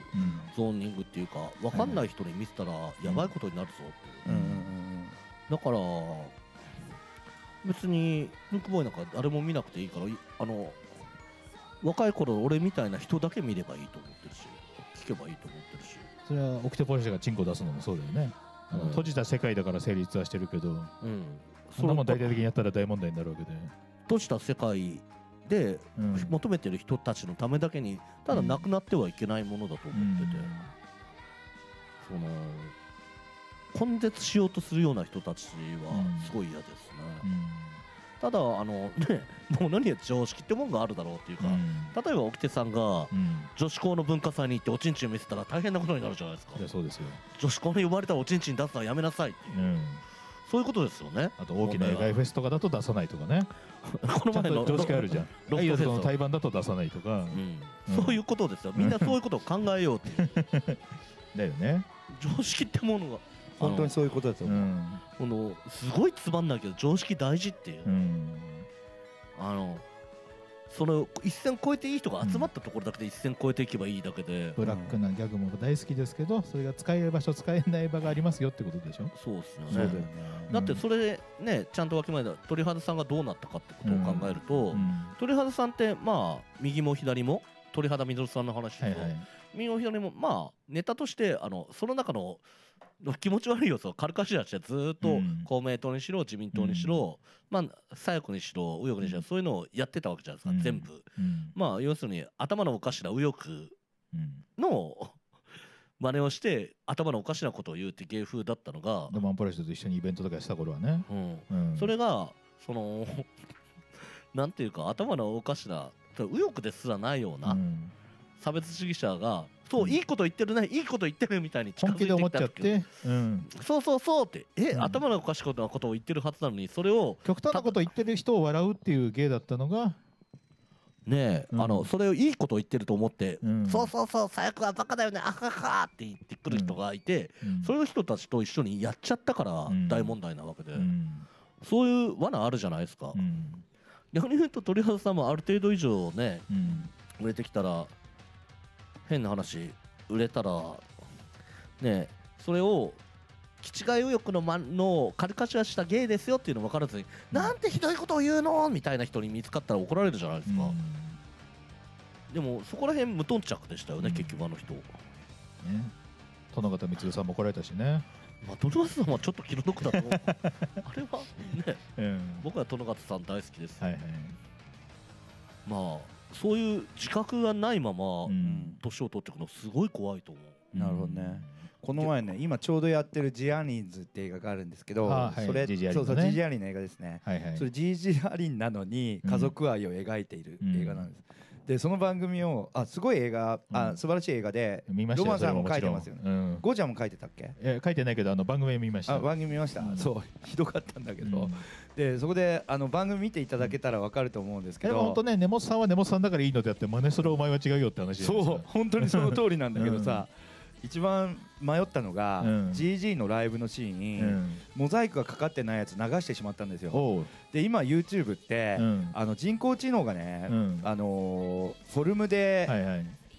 きちんとこう、うん。精査していて、うん。あの検閲してるんですよ。チンコにすぐ引っかかるわけですか？チンコにすぐ引っかかる。チンコ乳首にすぐ引っかかるんだけど、うん。GG のチンコがちっこすぎて引っかかんなかった。これやばいでしょ。へすあげえ異常ですよね。すげえなーと思って。短小のおかげで助かった。本当に助かったの。へで俺もうすごい勇気を持ってさ、うん。あのヘイテッドの途中のライブシーンを流したわけなんですけど、うん。全然引っかからなかったの、うだんからサイズにもよるなって思いましたよその時。沖手さんだったらアウトだったね沖手さんだったらアウトですよ、うん。まあアウトですね。アウトですよ、うん絶対アウトですよ。ねうんいつね意地悪な人に通報されて捕まるか分かりますよね。ね AI のさチンコセンサーくぐり抜けてるサイズっていうのもすごいでしょ、本当にこれぐらいしかないじゃないですか。本当にそれぐらいしかない。別の意味でスーパーサイズミーって感じですよね。いやーまあジジイがでもいい話のように見えてお父さんの話すごいやばいでしょ。やばすぎでしょあれ、あれねえ、うん。あれってシリアルキラーの育ち方ですよね。そうですよ、皆さん見に行ってくださいまだやってます、うん。イメージフォーラムジアリンズ。いないお父ささんがすごい問題で、うん。つけちゃいけないような名前をつけて。本当ですよ、あのねえ本当シリアルキラーの、ねえ電気とか読んでると出てくるのと同じことが、うん。ジジイの幼少期で起こってるっていう、本これは壊れますよねっていう。壊れるしお母さんが、うん。ああいういいお母さんだったからなんとかうん。生きてただけで大人になるまで、うん。人も殺さずに。うん。でもお母さんはなんでそんな男と結婚したんだっていう疑問はすごい思いますけどね、うん。本当そうですね。そこ語られてなかったよね。うん。うんそこは突っ込んではいけないことなんだろうなってそうでしょうね。うん言ってくれなかったんだろうなあのタイムラインもすごいにぎわってんですけど、うん。いっぱい拾わないという、はあ、鳥肌さん問題あさっき語ってましたね、うん。えっと松本人志さんがうん。働くおっさん人形、はいはいはい。あ働くおっさんシリーズの話もうん。聞ければ嬉しい、なるほどね。えー B さんうん。B ジークさん、えーうんあれも何か90年代悪趣味の延長とも取れるように思うって言ってますよ、うん。完全90年代じゃないけどうん。みたいな。どうですか、まあおおかしなお中年男を笑う的なってこと？あうんうんうんでもそれロマンポルシェの PV とかロマンポルシェの T シャツもそれ近いよね。あそうっすね、うん。あの顔のすごい人をそのまま T シャツにするっていう。ああなんだろう、うん。あれはね、うん。レックさんと沖手さんとか、うん。まあみんなあの辺のセンスですね 当時のロマンではない。いや実験ないですか、ただ別に生なあの生のものを出したかったんですよ、うん。漂白されない。うん。だって別にあの人たちすごいいいいい顔してるだけで、うん。ちゃんとした人ですからね、うん。働くおっさんのこと聞きたいだそうです。いやーだから何というか。うん。なんて言えばいいんでしょうね、うんアウトかセーフかって言えば別にどっちでもないし、っていうかうん。見る人によって決まることだし、うん。まあすごく面白いかって言ったら面白くはないとは思うので、別に俺はなくてもいいけど面白い人はいるんでしょうねっていう、うんうんうん。だから極端に悪いものでもありませんよねっていう、なんか SNS でアウトかセーフかって議論ってうん。やっぱりあちこちでなされてるじゃないですか、うん。いろんなトピックにおいて、でそのアウトかセーフかっていうのはやっぱりうん。そのコンプライアンスなんでしょう、基準っていうのは。だから大衆における違うんですか、でそこそのボーダーっていうのが人それぞれだと思うんですけど、親父のランジェリーやばすぎですよね。さっきあのローマンポルシェそうそうそうそうそう。あれはあのあれアウトかセーフかどっちなんですか、いやわかんない。下着泥棒。うん。うん親子2代に続く下着泥棒の歌を、うん。そう血は争えないっていう世界ですよね。ギズムサウンドに乗せてお届けするってい いろうんな意味でアウトっていろんな意味ででアウト。うんあのしかも、ブ PV はブラックメタルのものを踏襲してるっていう、うん。だよね。雪山ノルウェージまあャンブラックメタルみたいな、うん。うん。完全なバッドテイストですよね。バッドテイストですよね完全に。まあ、ね俺俺はなんていうか自分でキャンプだと思ってるんですけど、うんうんうん。キャンプですね。うん。でも教養ない人にキャンプって通じないじゃないですか、うん。スーザン・ソンタグだもんねキャンプ。そうっすね。俺は割とあのソンタグのキャンプ論読んでいろいろうんうん考えてっていう、意外ですけどそういうのは考えてて、うんうん。あの音楽活動をやる上で。ソンタグのキャンプ論に下着っていうのは確かにあった可能性ありますね、うん。なかったっけ？ランジェリー。いや覚えてちなみに親父のランジェリーで僕の好きな話があのギターウルフの亡くなったビリーさんがはい。あれいい歌だなって言ってたって歌歌の方、う歌ってましたね。口ずさみながら去っていきました。よあれいいよって。親父の形見のランジェリーとか言ってんでしょだって、うん。いい歌って何いや親父の形見の盗んだ盗んだランジェリー。やばいよね、うん。やばいよ。だからなんだろう何がアウトかセーフっていうのはまあ立ち位置によっても違うけど、まあなんでしょうね。うん。常識ってあるじゃないですかっていう話うんですよね。自分が気に食わなくても常識の範疇内だったら仕方がないっていうのあるじゃないですか、うん。その親父から受け継いだる盗んだランジェリーを雪のあの中でかうん。か嗅ぐのは常識の範囲内ってことですねじゃあねうん。っていうかあまりにバカバカしすぎて まともわなかるわかる。バカバカしいじゃないですか、あの言ってる意味わかるだからキャンプなん。だよねそう、ありえないすごくわかる時点にまで跳ね上げているから、うん。うん。うん。だって言っちゃえば奥手さん。のこの前のバイトの本もさ結構売れてはいるけどさもっと売れたら問題視されるやつだと思うん。だよね、えーだいぶ緩和して返してますよあれ、うん。あれかなりの犯罪告白本じゃん。いやもっとひどいですよ本当はそうねだからまだ分かる人だけが読んでるから問題にはなってないけど。うん。いや、うん。だいぶあの奥手さんの最高傑作だと思ってるんですけどね、うんいやいい本いい本。すごくいい本。うん。うん。でも奥手さんのバイトしてる時代って何年前だ？ねうん。えと2 5 6年前の話ですよ、うん。その時のことを今更言っても時効だからね、うん。っていう。あのジャン・ジュネは死刑になるのかみたいな話ですよ、うん。まあだからセリーヌは死刑になるあセリーヌはどうなのかとか、そういう話でねあの夜の果ての旅は、あのうん。セリーヌが反ユダヤキャンペーンをしたから、うん。悪い作品なのかっていうのとうん。違うみたいな話ですよきっと。よくわかんないけど。木村和也さんが言ってたのがあのよ横山やすし本当今うちの親父は吉本にとっては本当にいい素晴らしいタレントなんだよっていう。もう一切問題起こさないっていうみたいなことでやっぱ死ぬことでセーフになるのってすごいあると思ってて。そうですね。最近だからそのピエール滝さんの問題でじゃああれはどうなんだみたいに言われること多いけど基本死んでる人はセーフなんだよね。そうなんですよね、うん。もう何もしないから。いや、うん。滝さんの話も本当は家族とかうん。仕事仲間とか友達がうん。いろいろね直接あれする人たちが考えればいいだけで、うん。外野はどうでもいい話だと思うんですけどね。本当に。だって、いやねえ。本当家族とかうん。友達とかね、しうん。迷惑かけない仕事仲間が怒ったりうん。かばったりいろいろそれは当然あるんだけど、うん。俺たち関係ないもん。ね関係ないくせに口を挟むのはどうかと思うって、批判も擁護もしないですよっていう。そのことそれぞ自体はね。れがそのリスクで。でも、うん。たくさんが捕まったからって90年サブカルの終わりって言われたら意味が分かんないし、うん、あそうやって言ってる人がいるの？うん。何件かいましたよあね本当にまあ、タイミング的に平成も終わるしみたいな感じでなるほどね。象徴的な感じいや別にたくさん死んだわけじゃないし、うん。内田裕也さん亡くなりましたけどうねん。そう。ちなみに今日僕着てるのニューイヤーロックフェスのジャンパーですね。ああアピー。ルするために着てきましたね、うん。この日。うわ本当だ。あのゆうやさんがヤフオクに出してるやつね。マジで？しかも。えそうなんですか？えそれ裕也さんのゆうやさん着用モデル。マジですか？そうそう、やばいね。うんいやでもそう考えたらうん。あれなんじゃないですか、あのさっきキャンプっておっしゃってたんですけど、うん。あのはい。今回のだからこの本あのうん。90年代サブカルの呪いっていうのは、うん。呪いをかけられてる側はね、うん。あのキャンプじゃなかったってことなんでしょ？つまり。うん。うん。キャンプ、うん。そういうことだと思います、うんうんうんうん。だよね。だってロマン・ポルシェはさ呪いかけられてないじゃん、そうっすね。だよね、うん。であの雪の中でランジェリーを扱って、そのあの盗んだランジェリーをうん。親子2代で受け継いでるっていう、キャンプさがうん。あるからこそ、うん。あの断罪されてないわけですよね、うん。あれが今も YouTube にあっても、そんなの高等無形なね。そうだよね、うんうん。でもその今のねジェンダーセンサーから言えばさ、うん。あのセンサーがかかってもしかしたらバンされてもおかしくないような、うん。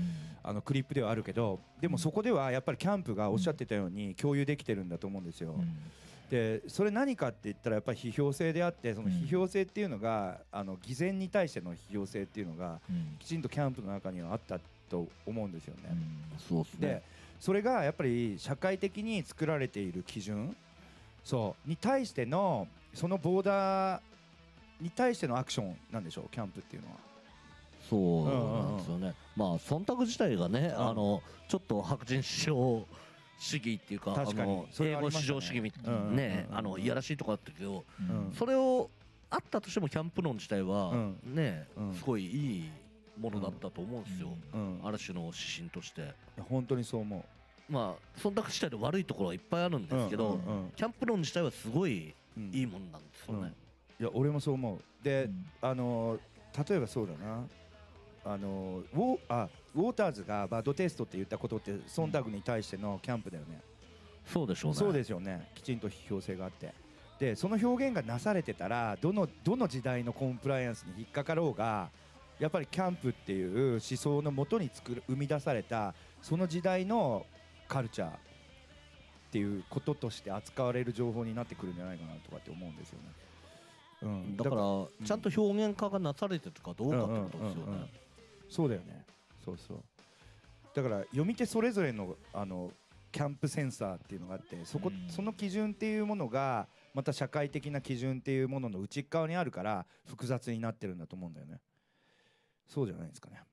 でね。今のインターネットが多分それが本当に基準がものすごいうん。厳しい人とうん。緩い人の両極が存在する世界だからあ本当そうですね。端と端がすごい離れすぎてて、うん。もう話にならあの会話が成立しないじゃないですか、うん。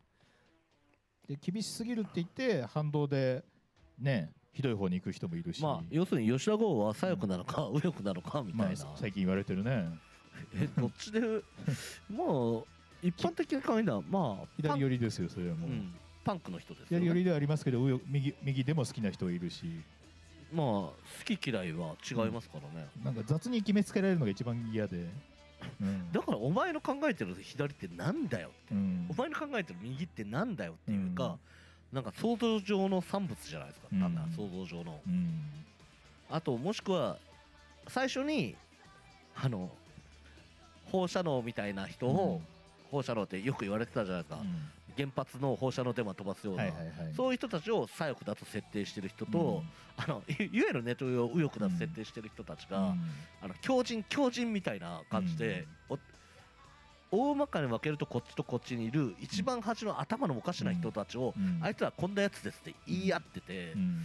全く何の話にもなってない、悪いサンプル同士を代表させてもしょうがないわけだよね。それは、うん。あの右とか左じゃなくて強人ってジャンルだうん右とか左じゃない。頭がおかしいとかバカとか強靭とか、常識がないとかそういうジャンルで、はい。そういう理論議論から外さなきゃいけない人たちでしょって、う。ん。特殊な例だけで語ってもしょうがないんですよっていう。でもそれを相手を貶めるためにやってるわけじゃないですか、お互いに、うん。それで何が生まれるかっていうと何もないですよね、うん。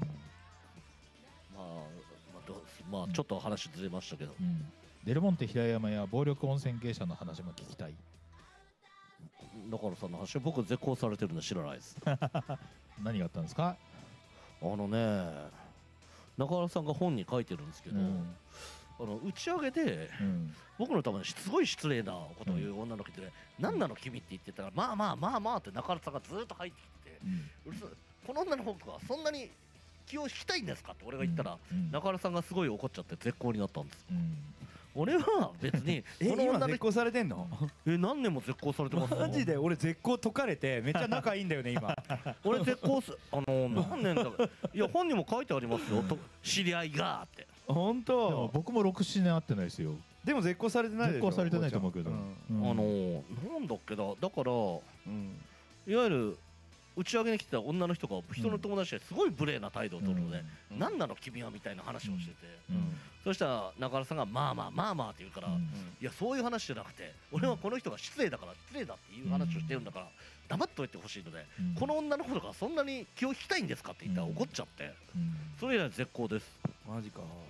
ちなみにデルモンテ平山さんは僕ペイペイの時に平山さんの原稿を打ってたっていう時期がありますよ。おあのエロ本で。ビデオボーイで杉作さんとか平山さんの連載があってまだファックス時代にファックスで原稿が届いたのを僕が打ち込む仕事をしてたっていう、もう皆様いい年の取り方してますよね、うん、あの情報に詳しくなくなってもおじいさんだし、うん。変な話いいおじいさんになってうん。って変わらず、うん。変に若ぶって首突っ込んでとんちんかんなこと言う人よりなんかより全然いいいっ誰の話ですか？ぱいいるじゃないですか ロキノン的な世界についても聞いてみたい。いやそんなんどうだっていいじゃないですか。嫌いに決まってんじゃないですか。サブカルではないですかね。うん。うん、いやロキノンってそもそも、うん。あの素人の感想文をうん。書いてるだけでしょあれ、うん。あの音楽的な情報の話ができないから、うん。あのいわゆる文学批評みたいなことをやってるけど、そのレベルが低くて気持ち悪いなっていうのが、うん。90年代のロキノン批評じゃないですか。うん。あのここはこういう音楽でこういう系譜があってとか、うん。この人の文化的なバックボーンはここでっていう、例えば文学の話もできなければ音楽の話もできなくて、うん。お気持ちで書いてるのがロキノン批評だって、うん。気持ち悪いなと思ってました。ちょっとね、フールズメイトとかね、音楽の話は全然語ってないけど、なんか難しいことか書いてる方がまだ引っかかるというか、まあ、あバックボーンとして合ってたりするんですよね、うん。そっちの方が、うん。この音楽の背景にはこういうものがあるよってうん。ちゃんと提示できてたというか、北村先生は。ね、紹介するものもちゃんとコアな方を紹介してくれるし、あと何言っておきますか？何がありますか ?90 年代ロフトプラスワンの講座、いやこうこうって何ですかね？教えてよ。いやああなただって言いやがってたじゃないですか。嫌だったけどさ、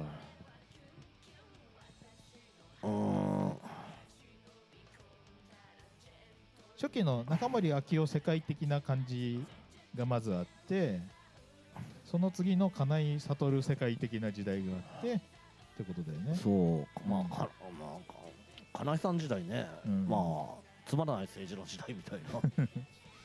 うん。まあ本当に全く違う文化だったからね、そうですね、あのー客との論争が前提のイベントだったじゃん。まあね、うん。あの平野親父の。そうそう。あのクソ親父だよね平野さんのプランによって客が文句いろいろ文句言える？時間がまず設けられててで客を追放していいみたいなシステムが当時あったからね。なんだろう。あのまあなんかオルグみたいな感じですよね、うん。なんかすごい気持ち悪かった 出やすくなったよ。うん、いや俺たち出る頃はだいぶ緩和されてるけど、うん。まあ金井時代ですよね。うん。まあ金井時代は金井時代でね。うん、すいませんビールください。さあ。うんねいやロロフトプラスは全然変わりましたよね。本当にんなに逃げてた時期が嘘のような感じの。あのー、議論集がまずなくなった、うんそう最後の最後に追い出すのを見たのがターザン山本が追い出す瞬間だったぐらいだもんな「お前は出てけ!」とか言ってたのターザンのくせに生意気ですねうん全く面白くないイベントだったから客が雑談しだしたらターザンが切れてでものすごいピリピリした空気になっただよねより笑いが起きなくなってっていう瞬間を見てたいやーなんですかね、うん。いやどこら辺からまあ金井さん時代から徐々に変わってますね。金井さんがやたら司会やってる時代ねうん。ミスターロフトプラスワン時代え。いやーそうなんだよな。まあ金井さんの最後のロフトプラスワンのイベントとかも見てんだよな。いやーでもね結局金井さんちゃんと原稿書いてなかったからな。うん。単純にでも金井さんに関してはあのーまあ、金井さんってそのもともと女子プロレスやったりとかテクノ雑誌うん。アイドル雑誌で書いてたんだけど後半でアイドルの運営側に入ろうとしたのが全てのミスだったと僕は思っていて、でもうん。まあ書いてあるんですけどアイドルバビロンって、うん。あのインタビューのインタビューの話が面白いけですけど、うん。インタビューは面白いですか？うん字の文面白いですかって問題がうん。常につきまとう本じゃないですか、うん。オタクは面白いけど、うん。取材してる人は面白いのって。題材は面白いけどどの立ち位置から書いてんのっていうね。立ち位置は分かりますよね、うん。バカにしてる人ってういう、ん。オタクキモふーみたいな感じじゃないですか、業界人様が。うん。まあそういうところが嫌われるところですけど、うん。今もそれこそ出版社の人がアイドルの運営になるパターンとか増えてるけど当時はだからそういうのもなかったしでただ運営になるんじゃなくて結構ブラックめな事務所のスタッフとしてねやっちゃったのが全てのミスだったと思ってて僕が直接聞いたその女の子とかが AV に売られそうになった話とか聞くうとわ。そういう人がアイドルライター続けるのはまあ難しいでしょっていう、うん、まあ奥手さん曲書いてましたよねあったね。そこの曲奥手さんじゃなかたあっったあったあったあった最近人とは、友達と喋ってて、うん。あれ奥手さんあそうだみたいな、うん。まあその頃僕ねたち仲悪いからほとんど交流ないんで、うん。よく知らないんですけど、うん。あったな。だからそう。辛い時期に最後にの飲んだのも覚えてるな、うん。あの金井さんが鬱になっててあの鬱としている時期に日記をずっとネット上で書いてたんだけどそれが編集者にダメ出しするし続けるだけの日記であれねやるあれやってると依頼来なくなるからやめた方がいいよって言ったんだけどでももう止められないんだよって言ってたのがすごい印象的。いやーだってあれっていうか、うん。まあ変な話たくさんも金井さんも、うん、あのー読者が読みたくない人の悪口しか書かなくなっていくじゃな狭いですか。界のね。誰？だってたくさんの読んでて金井さんの悪口書いたら金井って誰？って思うじゃないですか、そんなものよ金を払っもらって書いてる原稿で書くことじゃないですじゃないですか、うんこれがまあユージって誰って言われるようなもんですよ、それは。単純に編集の悪口書いてたら編集は仕事頼まなくなるからね。そう。これ下手に頼んだら俺も書かれるわっていうことで。者ああれと得しないんだよな。だってそんな面倒くさい人にうん。どういうトラブル抱えるかわかんないし、うん。あのすごく才能があれば別ですよ。そうそうそうそう。すごく才能があるわけじゃないじゃないですか、うん。みんなあのこれ誰がっていうじゃ、うん。みんなそんなめちゃくちゃ才能あるわけじゃなくて、僕も含めてですよ本当に。頑張ってやってるわけで、うん。そのどんぐりの成功レベル状態なのに、そんなトラブルを状態だったら抱える人当たりをしたタイプは、方がいいとかね。うん。うん。ね。えだから僕は仕事をもらえないしあまり、っていうことですよ、人当たりが良くないから。はうん。性格が悪いからです、いはいはい。いやそれは思うな。うん。ユージって言われてるよえ？ユージって。ん？ユージって言われてるよ。ああユージね。うん。笑い出さない。う んまあまあいろいろいるんですよね、うん。いやでも今回の本書いても読まずに怒ってる人多いじゃないですか。多いっていうか、うん。23人ですけどね、うん。え？っていう。あの今までのロマンの本の中で一番ちゃんとまとまってて一番読みやすくあるけどでもそこが寂しさでもあるんだよ。ロマンの邪気がもうちょっと見たい、うん。だって今までは辞表あのうん。残らないもんじゃんさ辞表的なもんで、うん。あの記録としては残るけど、うん。あの作品として残るタイプじゃなくてこれ割と作品として、うん。あるうん。ちゃんとまとめた本あるある種の指針としてのうん。一つとしてうん。残せるようには考えて書いた本なんで、うん。あの個人的にこいつ嫌いみたいなものよりはってことでね。そうですね、うん。まあ、嫌いな人もあんまりいないですし、うん。あんまり。うん。いややっぱりあれですよね。うん。90年代のあのタイトルが90年代サブカルの呪いっていうタイトルなんですけど、うん。そこからやはりメンヘラの、メンヘラ誕生に移っていくでしょう、第3章、はいはい。そこがこの本の価値だと思うんですよね。ほであのやっぱり90年代の悪趣味と鬼畜を振り返るっていう定義から、ネット以降のその悪趣味を踏まえた歴史軸っていうのがここで見えてくると思うんですよ。ううん。でメンヘラっていうのはあの書かれてる通りそのメンタルヘルス版から来てんでしょ、うん。そうで2チャンネルの。でその流れの中でメンヘラであるってことをアイドルがアイデンティティの一部のようにうん。使い始めたってことを書いてるじゃないですか。うん。つまりやはりあの僕が分析したその悪趣味からうん。路悪趣味に転換する時代だったと思うんですよ、ネットカルチャーが。うん。で95年がネット元年とするならばやはり95年から6年をピークにして悪趣味文化っていうのは落ちていったわけですよ、うん。だからさっきのディバインの話ではないけどあのウォーあのウォーターズの批評軸がなくなってリアルディバインが現れていってで路悪趣味がはびこっていき現代に至ってるっていう兆しがきちんと描かれてるっていうのが重要だと思うんですけどそのメン死体写真もそうですもんね。そうですよね。も思想抜きでブラクラとかで強制的に見せられるそうネットそうそう。上にいやただで転がってるものじゃなくてうんね。本当にその通り、うん。ただアーティストとしてうん。ね、アートとしてうん。ね、鶴崎さんとか撮ってるわけじゃないですか、うん。うん。うん。あのね本人の意図とは関係なく、ん。単なるポルノとして消費されていくわけじゃないですか、うんうんうんねえ。だから死体写真自体は問題があるんじゃなくて文化的に。うん。死体写真の取り扱いをする受け手の方に問題があるんだと思うんですよね。あのフリックスの写真にしても。そう。あの釣崎さんからうん。この前教えていただいた話によると、あのタイもメキシコもああもうね今厳しいらしいですね。そうそうそうそうそう。アムチャガムとかもうないらしいんですよね、うん。そうだからそういった向こうにもちゃんとコンプライアンス的なものがそうそうそうそう、うん。世界的な文脈として、そのさっき言った、うん。えー、とバッドテイスト、うん。エログロナンセンスからカストリの流れの中に、うん。だつまりその女性自身とかを読む感覚でアムチャガムが昼間に労働者がご飯を食べながら読んでた写真を見てたのがね。そうそう死体写真を見てたのが、うん。もうそれすらもう一掃されてしまった現代、話ですよね、つまり何かってロ、うん。路悪趣味すらも消費されていったってことが言えるんですよね、うんだからこのねたこの本出すきっかけになったのがそうん。の90年代サブカルがヘイトを生んだみたいな論調に対する論アンサーだったと思うんだけどうん。単純に僕が思うのがうん。もう世界中でヘイトを生んでるわけじゃないですか今。そうなんだよ。関係サブカル関係ないんですよ。サブカル全然関係日ないよ。本がだけ特なんかね特特別それが生まれてんだったら、うん。サブカルのせいもあんのかなとか思いますけど、うん。世界の流れですうんっ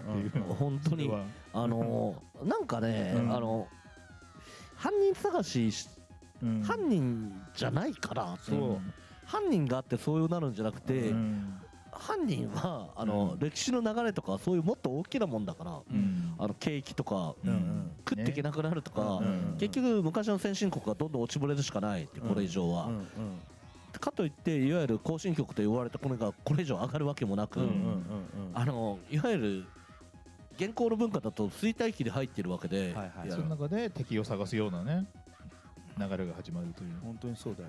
うん。あだからやっぱりさっき言った流れの中だったら、うん。その悪趣味の定義の中のうん。第3次バあの悪趣味ブームがバッドテイスト、えーそしてその後がさうん。あの言っていた世紀末鬼畜系サブカルチャーだと思うんですけど、うん。その95年96はいはい年あたりが、うん。その前僕その頃アメリカにいたんで、うん。その前を生きていたわけですよ。その時代っていうのは何かって言ったらファンタジーがあったの。そのファンタジーって言ったら誤解されるかもしれないんですけど、うん。キャンプなんですよ。うん。だから読み替えができてカリカチャーができていた時代だったんですけど、そこから95年以降ネット元年になってから、どんどんどんどんリアルになっていくじゃないですか、そうでそこのあの時代変遷っていうものを、うん。やっぱりその頃いなかったからうん。捉えられてなかったんですけど、それがやっぱりその三章のメンヘラの、うん。えー物語うんに接続できてるっていうことが結構重要で。うん。でそのメンヘラの文脈っていうものが、うん。今ネットカルチャーを支配してるうん。一つのその悪趣味の側面だっていうふうに、うん。露悪趣味の側面だっていうふうにうん。捉えることができるんじゃないかなと思うわけ。うん。でその流れの中でそのカリカチュアとかファンタジーが読み替えられてうん。今やそのフェイクニュースだったり、うん。ポストトゥルースって読まれてるようなものに変わっていったんじゃないかなと思うわけですよね。なんでかって言ったら露悪趣味があってリアルな生の死体がそこに転がっていて生の死体にいつでもタッチできるからホラー映画とかをの物語を超えた記号としてうん。そこに横たわってるものがあってでその先にあるのはリアルな何かではなくてうん。またあの妄想世界幻想世界における何かに変わっていったんだと思うんですよ。それがやっぱりポストトゥルースの正体だと思うんですけどね、どうなんだろうなみたいな。どうですか？どうですかね。この呪いっていうのはそこまで今受け継がれてるような気がしますけど。いやーまあでも実際そういう感じだと思いますよ、うん結局うん例えば本物死体があったところでそこからファンタジー生産してるだけで、うん。あの別に現実なんか誰も見てないし。うん。なんつうか結局なんだろうな。本当に、うん。あのーまあな何回も繰り返すけど本当の真実だって誰多くの人は必要としてなくて、うんうん。楽しく暮らしたいだけなんですよね。うんその楽しく暮らせなくなってくる狭まってきたところで、その自分たちを楽しくさせたいものを誰かのせいにしたいっていうのがどんどん出てくるわけで、うんそれの繰り返しです。どんどんひどくなると思います、うん俺は、うんこれから世の中。なるほどね。とに日本は急速に落ちぶれてる側で、まあ、世界的に上がれないし維持できないですよ、でもそその落ちぶれてい日本るというところを見たくない人たちが多いからね日本は特に急速に落ちぶれてうんるじゃないですか、現実見たら。うん。本当にクソみたいに。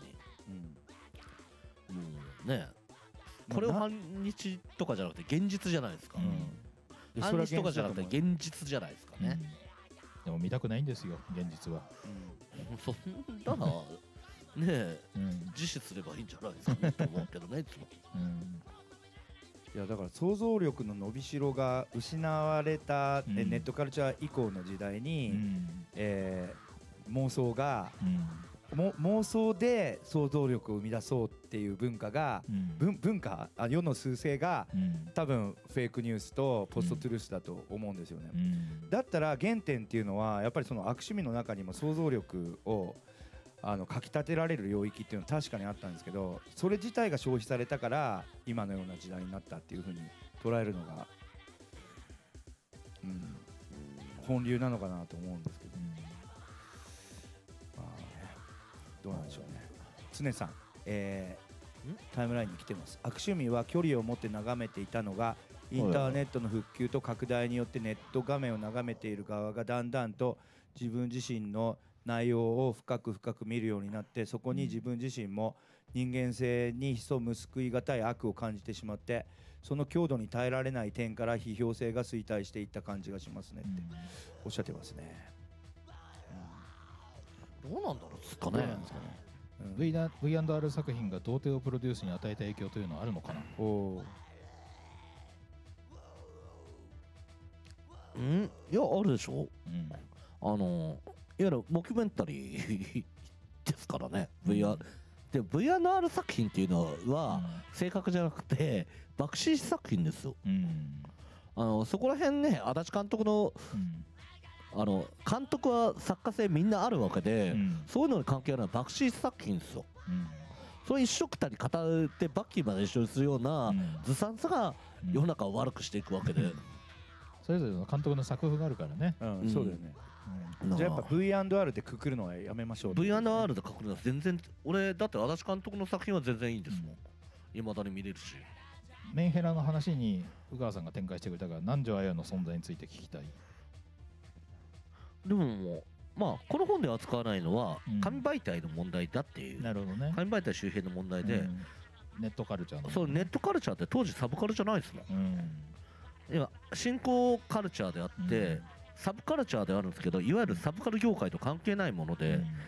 あの観察される対象であっても、うん。その中で自発的に動いてる人はうん。編入されてこないわけで、うん。南條さんがあのサブカル的なものを編入されるのは0年代以降ネットが普及してから、で当時南條綾に反応してた人って実はそんなにいないはずなんですよ、リアルタイムで。でも今となってはね北条かよさんの元ネタとしてね、うん、そうですよね。うん、名前を残すに至るという、うん。まあいいですけど。うん。まあ、だから、ひな形でも、南條さんみたいな人はいっぱいいたと思うんですけど、うん。ある程度分際があったということで、うん。あの記録に残ったひな形ですよね。うん。今のメンヘル文化のひな、メンヘラ文化のひな形になったのは間違いないと思いますけど、うん。当時としてはもう本当暴流の暴流なので誰も気づいてないはずなんですよ、大人は。山田花子とかはね目に入るけど大人はネットの片隅で何かやってる少女に気づいてはいないはずです。世界の数勢がそうだからって無罪ってことはない。サブカルは罪を背負えばいい。別に失うものはなんてないでしょって。なんでっていう。誰？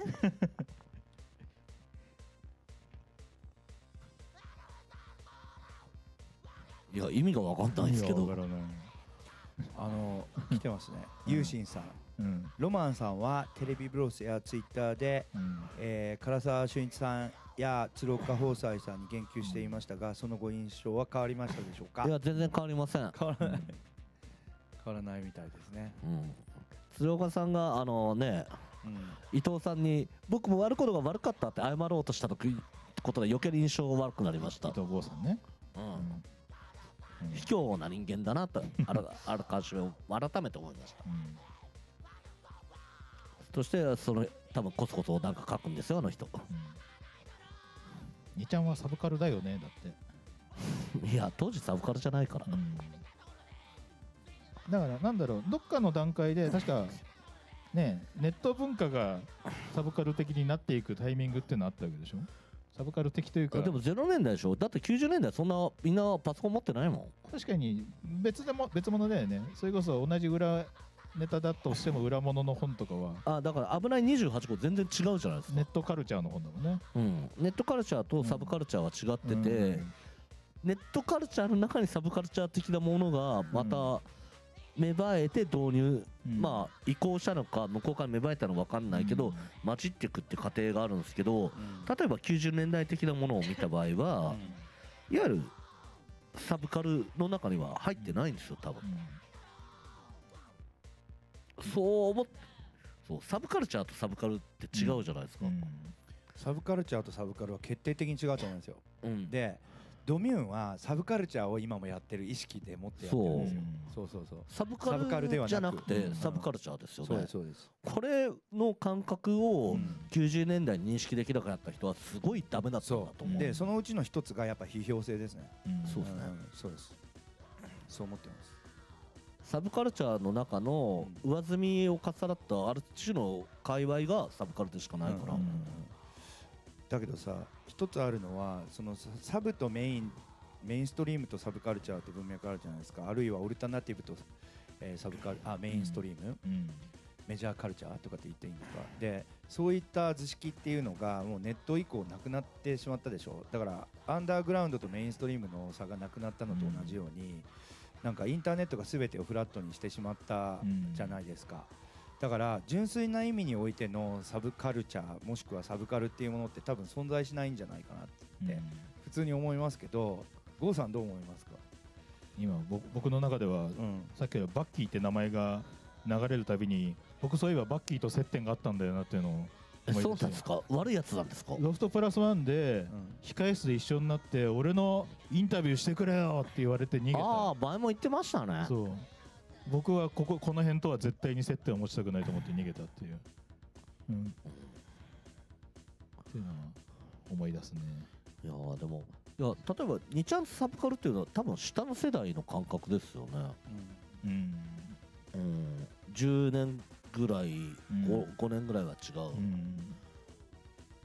にちゃんはネネットカルチャーとサブカカルは関係なかったっすね。うん。サブカルはあの紙媒体のスノップなものでしたからいねやある段階からそれこそなんだろうアニメがサブカルを代表するような時代になってからのものっていうかアニメとネットがサブカルですみたいな。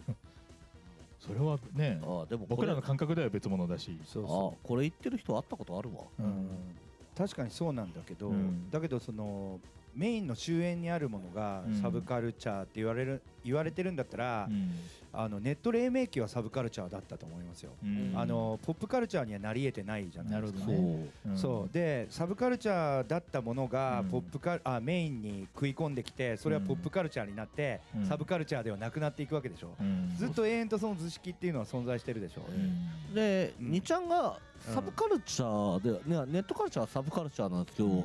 生まれた時からあうん。のサブカルかっていうと、ある段階まではサブカルにサブカルって結局商業ペースだからうん。入ってないんですよね。うん。多分。うん。あのおじさんたちがやってることだし。あうん。何何？サブカルってす商業ベース？まあビジネスでね。ビジネス。あーなるほど、うん。サブカルはでしょ？サブカルチャーじゃなく、そう。そうサブカルペースわかるあそこはわかる。多分だからそのそしておじさんたちがやってるから、新しく起こった文化は入らないんですよ、だから南條葉も入ってないし、うんにちゃん。も入ってない、ネットがある段階からビジネスにもなっておじさんの目にも届くようになって、でそうなってくるう。んうんうその文脈すごくわかる。うん。だからあのサブカルとサブカルチャーが何が違うんだって言って言ってるじじいは、うん。もう90年代からもう猛録してたってことですよ。あれでしょだからつまり消費との距離の取り方とヒーローとの距離の取り方によってサブカルチャーなのかサブカルなのかって読みそういうことですね。なるほど。オッケーオッケー今確認したんです。ドミューンはサブカルチャーであるあるってことがうん。今自覚できてよかったです。そうなんですよね。だから、はい、バーストはサブカルチャーだったんですよねあの中で、ね。うん、うん。そうですね。サブカルチャー足らんとしてたし、いい悪いは別として、うん。はい。はい。なるほど。そんな感じで残り2分ですよ。残り2分。じゃあ、うん。何の話しますかね？最後に曲流して終わる？締める？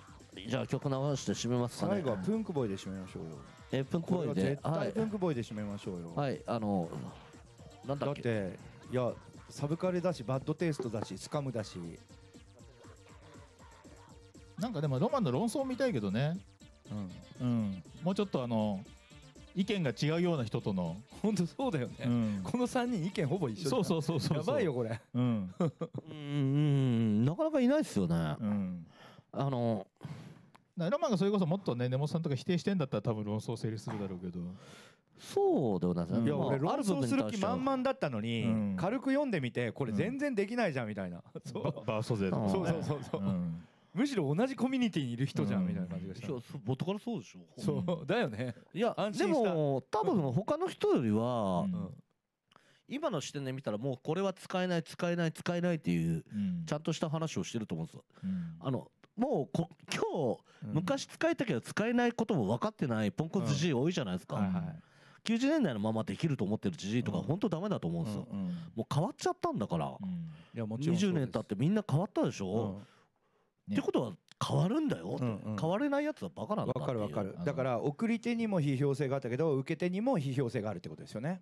そういうことそういうことですねですよね。あじゃあな曲で、まあ社会全体の話だよね。あのブスいじりみたいなものがどんどんそう系統になるみたいなのといやだって俺ブスとかあのホモっていうことも口に出せなくなりましたもね。うん。あの数年で本当に変わあった。のわざと出さないようにしてるんじゃなくてうん。自然に出なくなっちゃった、うんうんうんあのもうね自然に出なくなった言葉あるじゃないですか、数年前まではホモセクハラみたいな用語も使えてたけど今それすら躊躇するね。躊躇ところはもう本当に自然に出ないですよ、ね。いやあのさタイムラインでは美女とイケメンも差別になるんだよ、うん。それすごい時代でしょ？美女 DJ って僕らつぶやけなくなっちゃったんですよ、そう。ジェンダー警察が来るから。じゃあ私たちは何なんですかって話にいやいやあのそうじゃなくて、うん。外見で批評するな。なるほどね。ルッキズムの問題ですよね。いや本当そうです、でもその中の何割かが、うん。ヤホイとか BL 好きな人でお前ら何なんだって思そうっていう。うん。じゃああなたたちはのその人たちはうん。やめてくれってあのうん。全てのルッキズムを否定してる人だけ言ってくれって思うんですけどね、えまあ、えー曲でいいですか、うん。はい。でこれで終わります。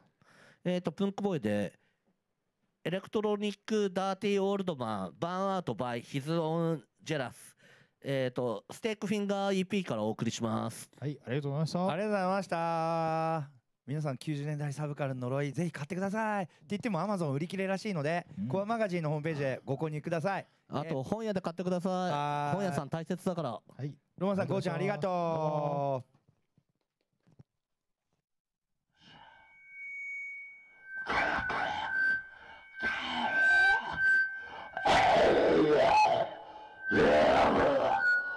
Suddenly Jarvis Ogilvy on Captain Bobby the Malcolm Summer. Oh, the serious hallway. Alright, forward. Summer look away. All the constitutional song. Rolling on killer.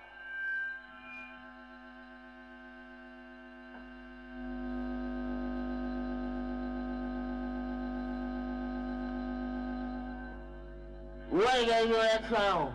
Bring it back out. Back out! Back out! Back out! Take your mind, thank you, break your legs out. I like you so well. Sit your back out. Sit out. Sit go, go, sit go. Taxi. Taxi, taxi, taxi, taxi.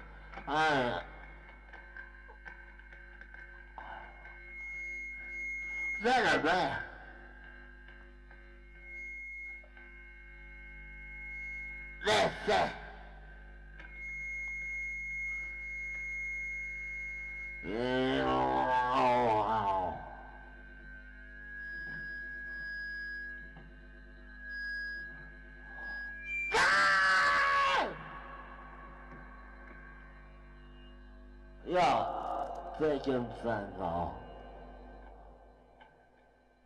谁能谁知道？我也不，我也不要搞啊！谁能嘞？我也搞，搞嘞，搞谁搞？呀呀！别搞！No! No! With moments, was it rocket, rocket slow up? I would go to I'm comes out. I'm can jump. I can dance at all. Dance out. Dance out. Dance out.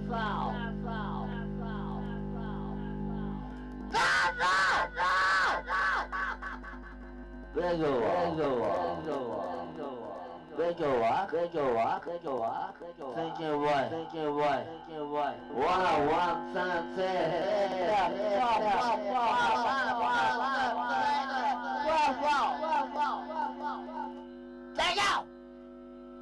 这就问我。